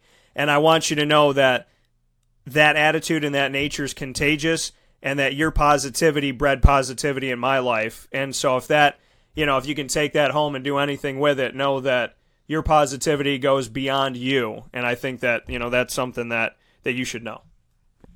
I appreciate that, man. That does, that does mean a lot for me. You know, just it just gives me gives me the strength and motivation to keep pushing forward, knowing that people's watching and can see that. You know, that's great. Well, you know, I want an Erv Philips jersey on my. I got a wall of fame. So when when my guys make it, that wall of fame has to get a little bit busier and a little more crowded. So I'm going to be looking for a, a Philips jersey up here at some point. They got to make that happen. Right, definitely, we gotta get one up there. That coming from Erv Philips. Well, Erv, we will see you very soon. We'll see you this Sunday. Last note here: What do you want to say to the fans about coming out and hanging out on Sunday? What do you want them to know about this opportunity to get in front of them again? Um, just you know, just being excited to talk to the fans one last time. You know, uh, Orange fans have always supported me throughout my four years, and um, I'm just excited just to get a chance to come see them and um, you know, talk some ball, maybe sign some autographs, take some pictures, whatever the case is. You know, just getting out there one more time. That coming from Erv Philips, Syracuse alum, and moving forward to the NFL. Erv, as always, I appreciate it. And from that first day that I met you at practice, after I had spoken with you on the phone, and you talked to me about what you wanted to be and how you were ready right now, I never forgot that. And I don't think either one of the staffs did either because they let you play all the way through. I'm looking forward to your story continuing, and I'm looking forward to seeing you on Sunday. Yes, sir. Thank you, Dan. Appreciate that, man. All right, man. Take care. I'll talk to you soon. All right, take care. See ya. That coming from Erv Philips, Syracuse football alum, H back, running back, wide receiver. So slot receiver makes sense because a guy of his size and stature who's already done a little bit of everything at the line of scrimmage makes sense to be a slot receiver. And I think that you can make your hay. And I thought it was interesting that he said the Jets were talking with him because I feel like the Jets are one of those teams that kind of appreciates that position. So, you know, it's just kind of cool, not too far away. Giants too, because the Giants need a lot of help. Giants trying to figure out what their receiving corps is going to look like, and they had to deal with a ton of injuries last year to the receivers, so that'll be an interesting scenario. And then on top of that, the Broncos, Broncos need help. The Bengals, yeah, they got AJ Green and this and that, but they, they don't have a consistent number two guy or a number three guy, let alone. I mean, they, if you don't have a number two, you don't have a three, a four, and a five. So the Bengals need depth. And, you know, the Niners, if Erv got to go play for the Niners, that team is getting stacked right now.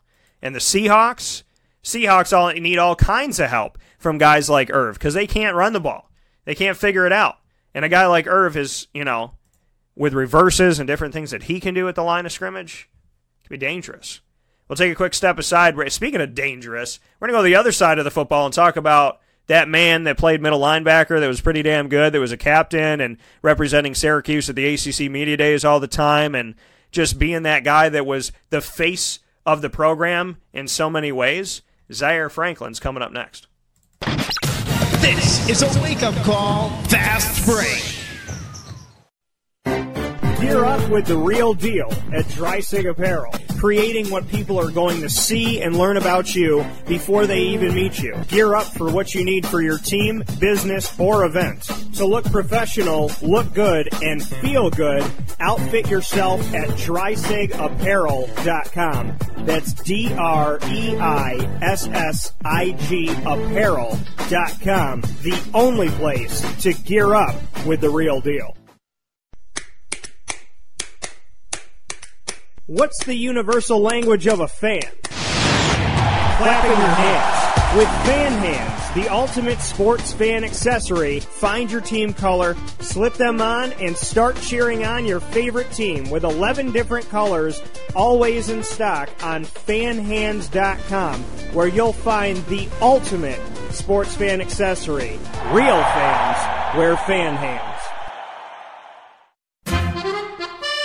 Utica Pizza Company spells family. Your family, my family, their family. The recipes that they have shared with each other throughout the years and have now been so gracious to share them with us. I can sit here and talk with you about all the great things that are on the menu. We'd be here forever. So let me say this Utica Pizza Company is second to none. And now you can bring it home with you and you can dine in in the restaurant. UticaPizzaCompany.com will give you all the information that you need. And let me say, these Utica greens, they're the best. Utica Pizza Company. Call them and place your order at 315 214 3060.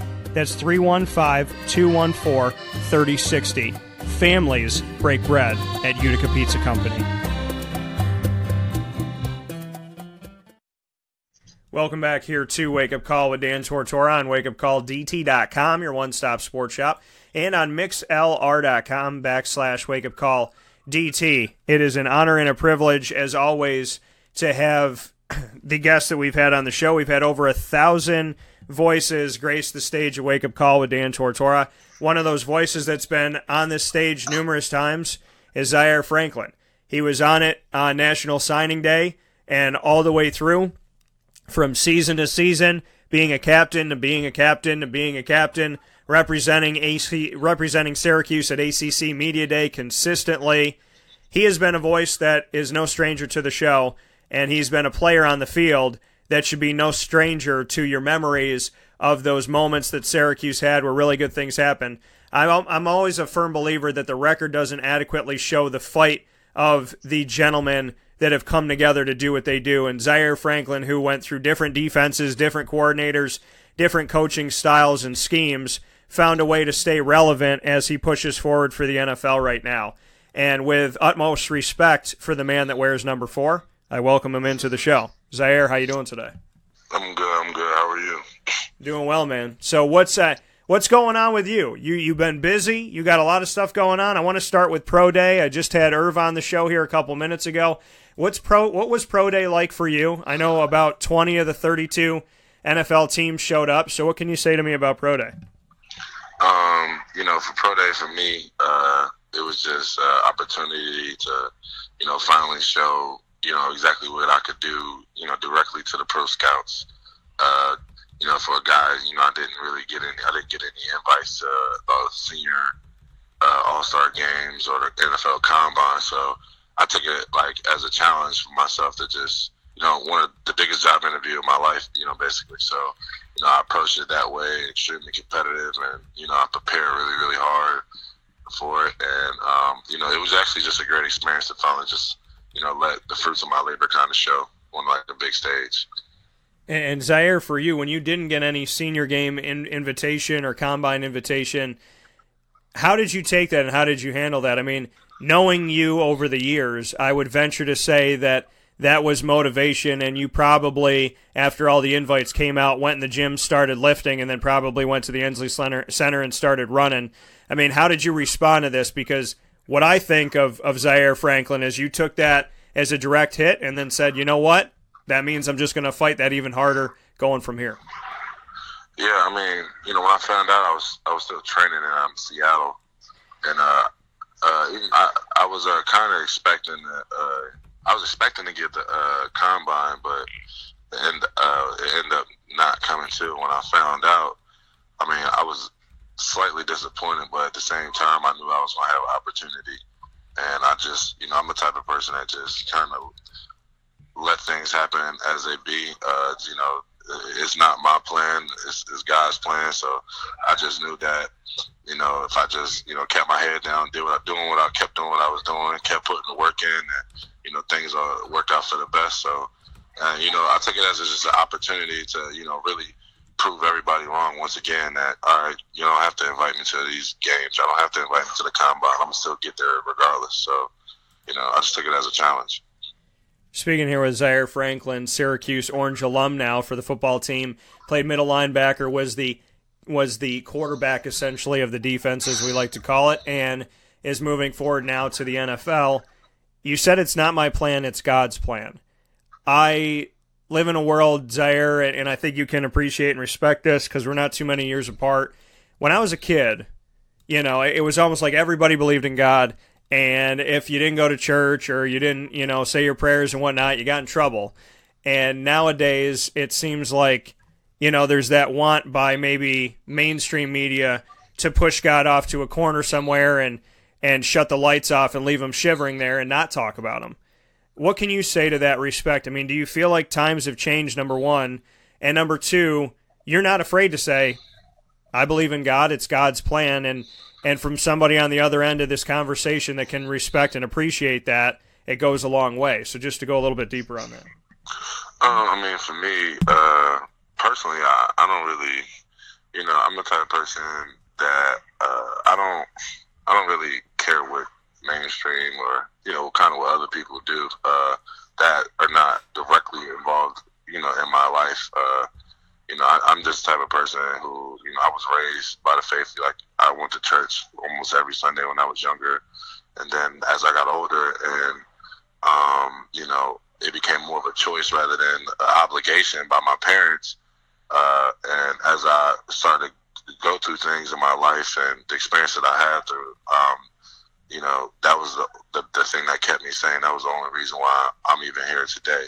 You know, you know, so um, I can't really. I feel like everybody has their own different path. I mean, the media is the media, mainstream is mainstream. You know, I can't control whatever they want to do or whatever they want to push or not push. You know, I don't really have a say so in that. All I can say is, you know, how I feel, how I was raised, and the things that I was going through. So, you know, just to speak on that, I mean, I mean, God is the only reason why I'm here today. He's the only reason why I made it through half the stuff that I made it through. So, or everything I made it through. So, um, you know, that's just I just speak from my personal experience, and if that inspires somebody to, you know, want to dip deeper in their faith, then you know that's beautiful. And if it doesn't, and it just inspires them to want to work hard, that's all right too. So, you know, I'm just type of person I just follow my own path.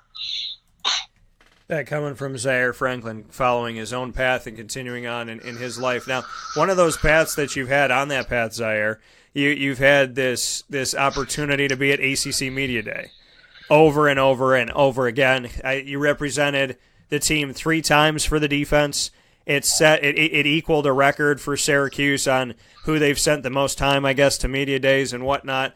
So I was there every single time, interviewed you every single time. And when I sat there this time around, they asked you what it felt to be there, and you said, I think I'm kind of good now. You know, it's kind of like the same now. I kind of like going through the motions now. So everybody's like, "Oh man, you know, you got to do it three times in a row. You're representing the team. This is great." And and and Zaire's like, "You know what? I probably want to go see a movie right now." You know, just what you could say about the experience of representing so many times. Uh, I mean, it was you know, it was obviously it was always good. I've always had a great time going. You know, um, opportunity to not only represent you know Syracuse University in the light that it was supposed to be represented in, and speak on behalf of my team, but you know also a chance to you know be able to put uh, a face to the name. You know, get a chance to interact with a lot of other top guys in ACC. Um, you know, as well as different media members that I've met that throughout the country that you know, end up, you know, getting uh become like getting friends with and stuff like that. So I always had a great experience when every time I went. But uh, you know, media day is, is, is always right before camp and around that time you're getting a little itchy. And, you know, seeing all those dudes in different colors kind of make you feel a certain type of way sometimes. so um, it was just like every year was always around that time. But I always had a great time though. And I mean, how is it? How is the interaction when you know when when Louisville and BC and and Clemson and Florida State and Wake Forest. I mean, the t- and NC State, the teams you're seeing every year, Pittsburgh, and then obviously there's a rotator. But those teams, I mean, these are guys that that you battled on the field. These are guys that you went up against, that you knocked on the ground, that you stood over, that you talked trash to.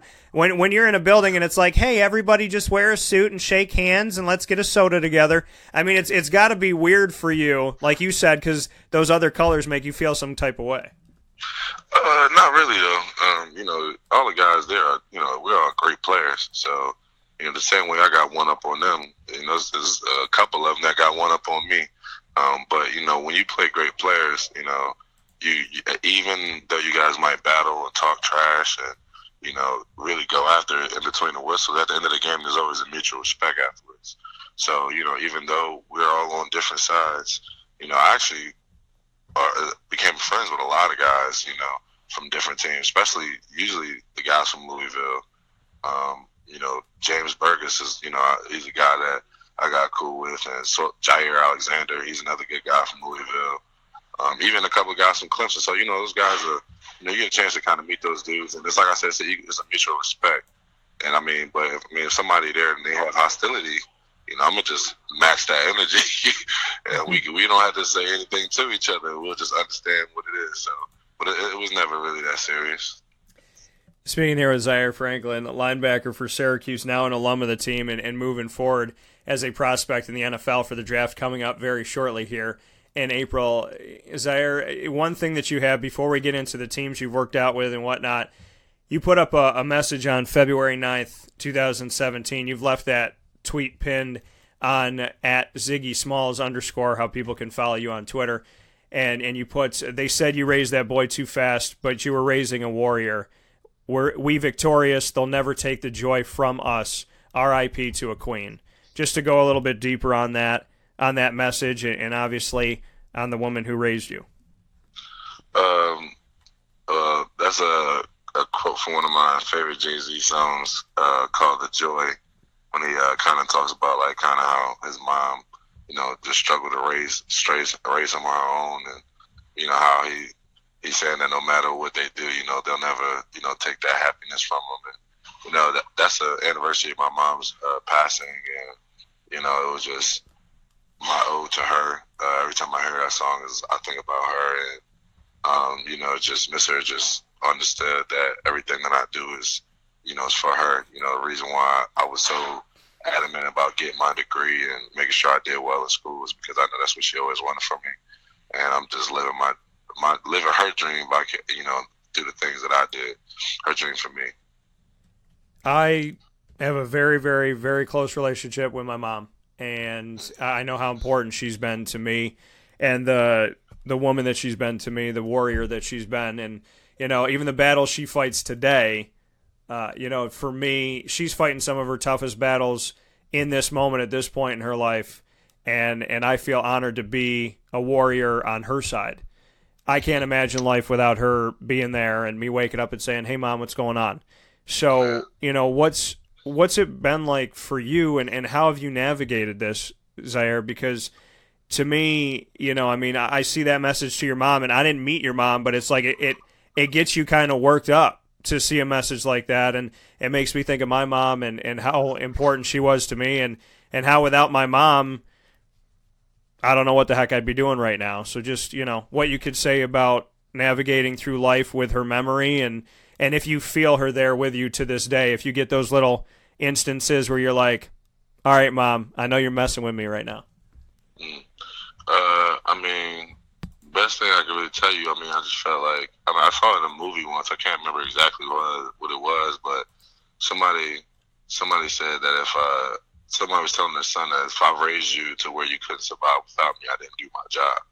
You know, so it was it's like just one of those things where you know, you know, even though she left me earlier than most, uh, you know, she gave me the tools and, you know, different lessons that helped me, you know, survive in this world and things that she used to tell me every day, still things that I still follow um, to the T right now. So, I mean, obviously, I miss her, um, you know, and I always feel like she's always here with me, you know, um, but it's just something, it's something that never gets easier. You just get used to dealing with. So, um, like I said, uh, my my memory from her never fades, and how I feel about her never fades. But it's just understanding that she's here, just in, in spirit, just not in the physical. There's a picture of this this young man that you have on Twitter, and and this young man being the, the young version of, of, of Mr. Zaire Franklin. What would be your advice to that young man if you got to meet him today? We did a little Back to the Future stuff, and you got to go back in time and hang out with him. What would you say to him? Uh, honestly, I don't know. I wouldn't change a thing. I don't know. I'll just tell him to keep working. I'll just tell him that he could be better than everybody he even imagined, and just you know tell him believe himself. I mean, I don't type person. I don't live life with any regrets. I mean, everything that's ever happened, every decision ever made, right or wrong, win or loss, has helped me make me to the person I am today. And you know, regardless of how everything goes, even if I end up never playing the NFL, if I never play a, a snap of meaningful football ever again, I'm blessed to ever even be in this position. So, I mean, it kind of is. It is. I- I'll probably tell him go give my mom a hug and kiss one time, but that's probably about it. That coming from Zaire Franklin. Zaire, before I let you go, to look at, you know, like you said, if, if you never play it down again, but I, I don't think that's going to be the case. There are teams that have taken looks at you and, and you've had some opportunities. Share with everybody here on Wake Up Call this morning who you've gotten to work out with so far, interact with at this point. Uh, so far, I've worked out for the Seahawks, the 49ers. Uh, I have an upcoming workout with the Buffalo Bills and the Eagles. Um, on top of that, teams I've talked to include Miami, um, the Broncos, uh, the Ravens, the, the Raiders, the Jets. Um, really, it's, it's a lot of them. It's, it's basically the Tampa Bay Bucks. Um, uh, I can't even remember right now. To be honest with you, I'm kind of blanking right now. it's really oh, the Redskins. The Redskins has recently reached out as well. Um, so I, I've had I've had interest from basically half the NFL. So um, you know, it's just been good right now. Just trying to take everything as it comes. And when you have that, like you said, interest from basically half the NFL, I mean, you have you have worked your tail off since you were a young man. You've gone through stuff off the field, the adversity of your mom, obviously your mom passing away, everything that's happened up to this point, other adversity that's happened off the field, on the field, to get to this point where you have interest from half of the NFL, if not more. Just what that does for you, the guy who, like you said, I don't care what other people think. I don't care what other people say. I go to work every single day. I'm here to live my life and kind of taking a page out of Erv Philips' book in the sense of he had just said to me here on the show, he said, I can't stop smiling because if I let them take my smile, then I let them take me. And it seems like you've lived that same life. I'm going to be me. I'm going to do what I want to do. I'm going to live how I want to live to the best of my ability. And now half the NFL has said, Zaire Franklin, what's your story? That's got to be something compelling and pretty amazing for you. I mean, yeah, it's like, it's like I said before, you know, I'm blessed. You know, just just keep putting my faith in God, and I mean, like let letting whatever happens happen. You know, I can't control what the teams do. I can't control what they like. I can't control what they don't like. All I control is my reaction to it and how I continue to move forward. So, I mean, Erv hit it right on the head. I mean, I just got to keep doing me, keep putting my faith in God, and then everything that is going to happen is going to happen. There's something pretty amazing that's happening today. And I'm going to shout it out since I've covered this team for now. Officially, this is my 10th year, a decade with this team. You're flying out to this place called Jacksonville. And I, I think I could tell you every flight number, probably every flight time, and every flight scenario for Jacksonville having having flown back and forth in recent history here. You're going to have an opportunity to see the facility and to be around former Syracuse head coach Doug Marrone, former Syracuse player Tom Coughlin, former Syracuse offensive coordinator, coordinator Nate Hackett, former Syracuse running backs coach Tyrone Wheatley. So there's definitely a connection down there. What can you say about the Jacksonville invite and opportunity? You're not working out, you're just meeting the coaches and seeing the facility. Bring me into the experience and, and what's to come as you will step into Everbank Field and you're going to have to take a picture because we've wa- we'll we'll have walked the same path after you do that today. Um, you know, it's, it's very excited. Uh, I haven't had a chance to really talk with the Jaguars as much as every, all the other teams that have reached out, and um, just because it was understood I was going to have opportunity to go to their place and meet them all face to face and look them in the eye shake their hands. So definitely really excited to be able to, you know, get out there, maybe talk some football, you know, explain to them who I am and get to know them as well. Um, so know, I was really excited. I'm actually happy to get I get to go to a little bit warm weather. I heard it's raining in Jacksonville though, but I'll, t- I'll take 60 degrees any day. I, will- I will tell you. I'll tell you right now, since I got them on my phone all the time because of my travel. So I will tell you where Jacksonville's at in this moment in time. Let's see. Jacksonville is 67. It's going to be cloudy today, with with a chance of rain this afternoon and maybe thunderstorms. But are you hanging out? Are you are you just staying today? Or are you hanging out a couple days? Because it's going to go back to the 70s. Oh, well, I'm flying in today. I leave tomorrow evening. Okay. All right. Well, you'll at least be able to get up and get some nice weather. What I can promise you about Jacksonville, Zaire, is that they don't have snow. That's good with me then. So, what I mean, what's that been like for you? I told my wife, my wife's birthday is April 5th, and I told her, I said, I got a fe- I've been telling her for months. I was like, I got this feeling we're going to get snow in April. And on her birthday, I knew, I knew it was snow. I literally said to myself, it was warm, and I'm like, we're due for one more. I don't know when it's going to come, but I knew we was going to get one more. So Yeah, well, it be- was just, I knew it was coming. being in the business of you know being a broadcaster and a writer that you know I make predictions and and I you know I try to I, I do my research and and I estimate what I think you know might happen here there wherever so I'm in the business of doing the research and having a eh, having an hypothesis and in that case with the weather I said to my wife I was like this is another prediction I got right and she stopped and she turned and looked at me with the nicest of faces and she said, Are you proud of yourself? And I said, Yeah, I am. you gotta take you gotta take the percentages. Right now, my percentages over a fifteen year career are very good, and I predict the weather better than most meteorologists, so I think I'm in good shape. Maybe you should switch the weather. Yeah, listen, man, I like this job too much. I don't know if I can switch to weather, but but and I wouldn't have met people like yourself if I was a meteorologist. You know, maybe because it seems like you can put your you know lick your finger, put it in the sky, and you knew it was going to snow too. So Oh man. it's a backup plan for you and I. When we retire in our sixties. 60s, 70s, we'll go be meteorologists somewhere and we'll tell everybody what it, when it's going to snow in Syracuse. All right, that sounds good.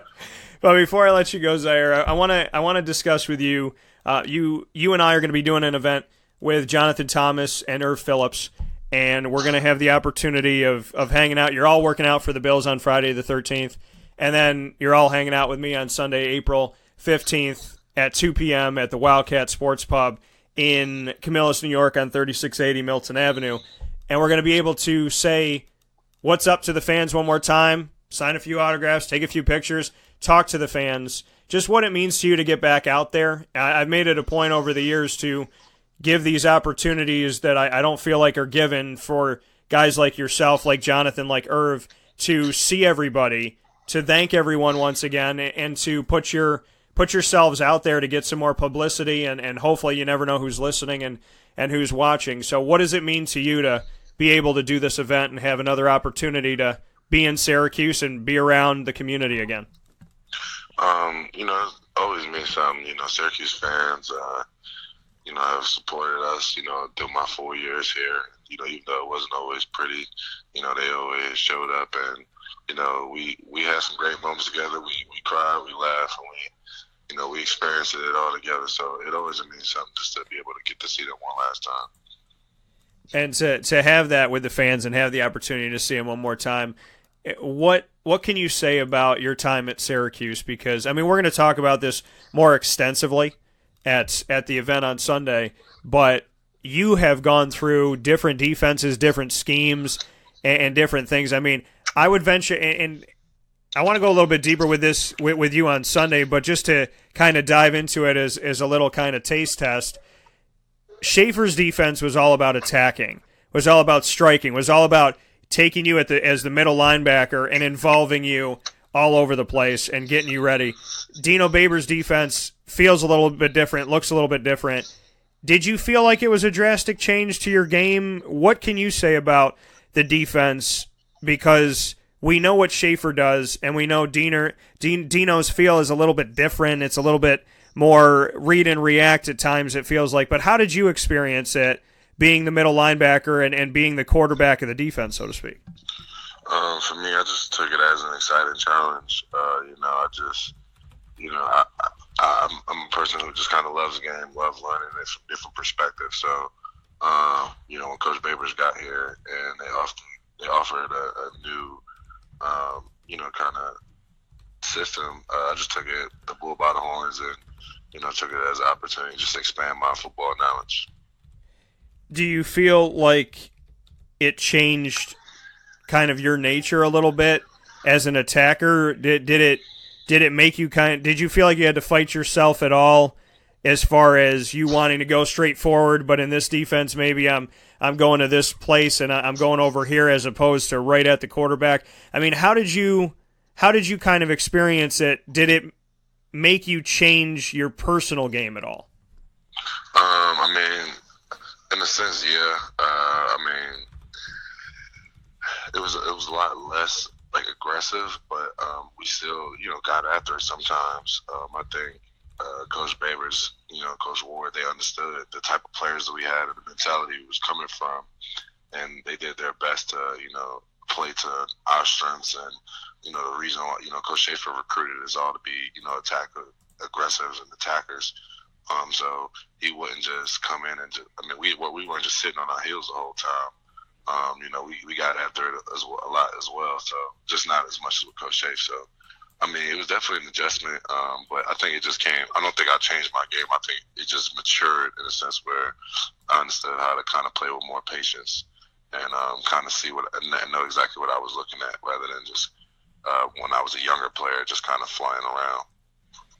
That coming from Zaire Franklin. There'll be plenty more this Sunday, April 15th at 2 p.m. at the Wildcat Sports Pub in Camillus very excited on what we're going to be discussing and fresh off of the opportunity that Zaire will have with the Buffalo Bills to show his talents and do what he has to do. Zaire, I'm telling you right now, you and I will see each other on Sunday, but I better have some pictures sent to my phone of Jacksonville today, is all I'm saying. I, I see what I can do, boss. All right, man. Well, listen, be good. Thank you for always, you know, taking the time and and thank you for the mutual respect. And I look forward to seeing you on Sunday. I see you soon. All right, take care. Bye. That coming from Zaire Franklin once again. Heading down to Jacksonville today. Dang it all. I'm not heading down to Jacksonville. I'm cold. so, so cold. It's so cold outside. We're gonna take it it is. I can't do it's it's too much. I'm ready. You know, I'm ready. I think that this because people are always like so tired. And everybody's like, why am I tired right now? What am I so tired about? It's the snow. It's the snow and the cold weather. That's why I think that that we get so tired. Because we just we're done. We've had it. We've had our fill of the snow and we are ready to move on with our lives. And and the hibernation is over, so to speak. We'll take a step aside for a fast break and I'll get you all ready for tomorrow's show in just a moment. This is a wake up call, fast break. Hi, this is Kira from Looking Glass Events, where we're always giving you a reason to celebrate. Whether you have a small business, large business, personal event, or wedding, we are available to plan and coordinate your dream event to life. Every detail, every step, Looking Glass Events is working with you all the way. Call us at 315 702 4653. That's 315 702 4653. Or contact us through our website, lgweddingsandevents.com. Looking Glass Events, giving you a reason to celebrate. The Penn and Trophy Center on 111 East Willow Street in Syracuse, New York has been making memories for Central New York for over 60 years. It has the trophies for your teams, and when you walk in there, it's so much more than just that. When you walk into the Penn and Trophy Center, you are immersed in the reality that anything can be customized, anything can be engraved, whether it's for your anniversary, your wedding, your bar mitzvah, your birthday party, whatever you want to do with that memory, that watch from grandpa, or that bracelet from mom, or that wedding ring that's been passed down through your family. If you want to get something engraved with a memory to last a lifetime, the Penn and Trophy Center, 111 East Willow Street in Syracuse, New York, where memories are made and where memories last a lifetime. The Wildcat Sports Pub in Camillus, New York is located on 3680 Milton Avenue in the Home Depot Plaza. It is your family friendly sports bar and restaurant. Folks, some sports bars aren't family friendly. Some family friendly restaurants are not sports bars. The Wildcat Sports Pub in Camillus, New York is proud to be both.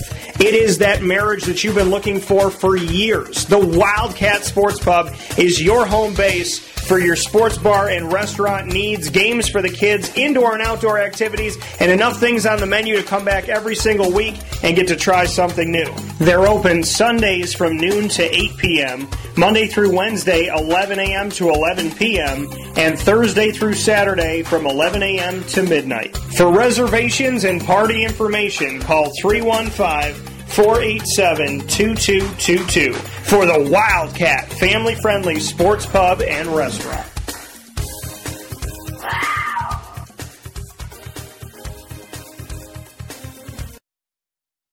Welcome back here to Wake Up Call with Dan Tortora on wakeupcalldt.com, your one stop sports shop, and on mixlr.com backslash wake up call DT. Proud to be here with you every single Monday through Friday from 9 a.m. to 11 a.m. Eastern Time. Want to thank you for spending some time with the show every Monday through Friday from 9 to 11 Eastern Time in the morning.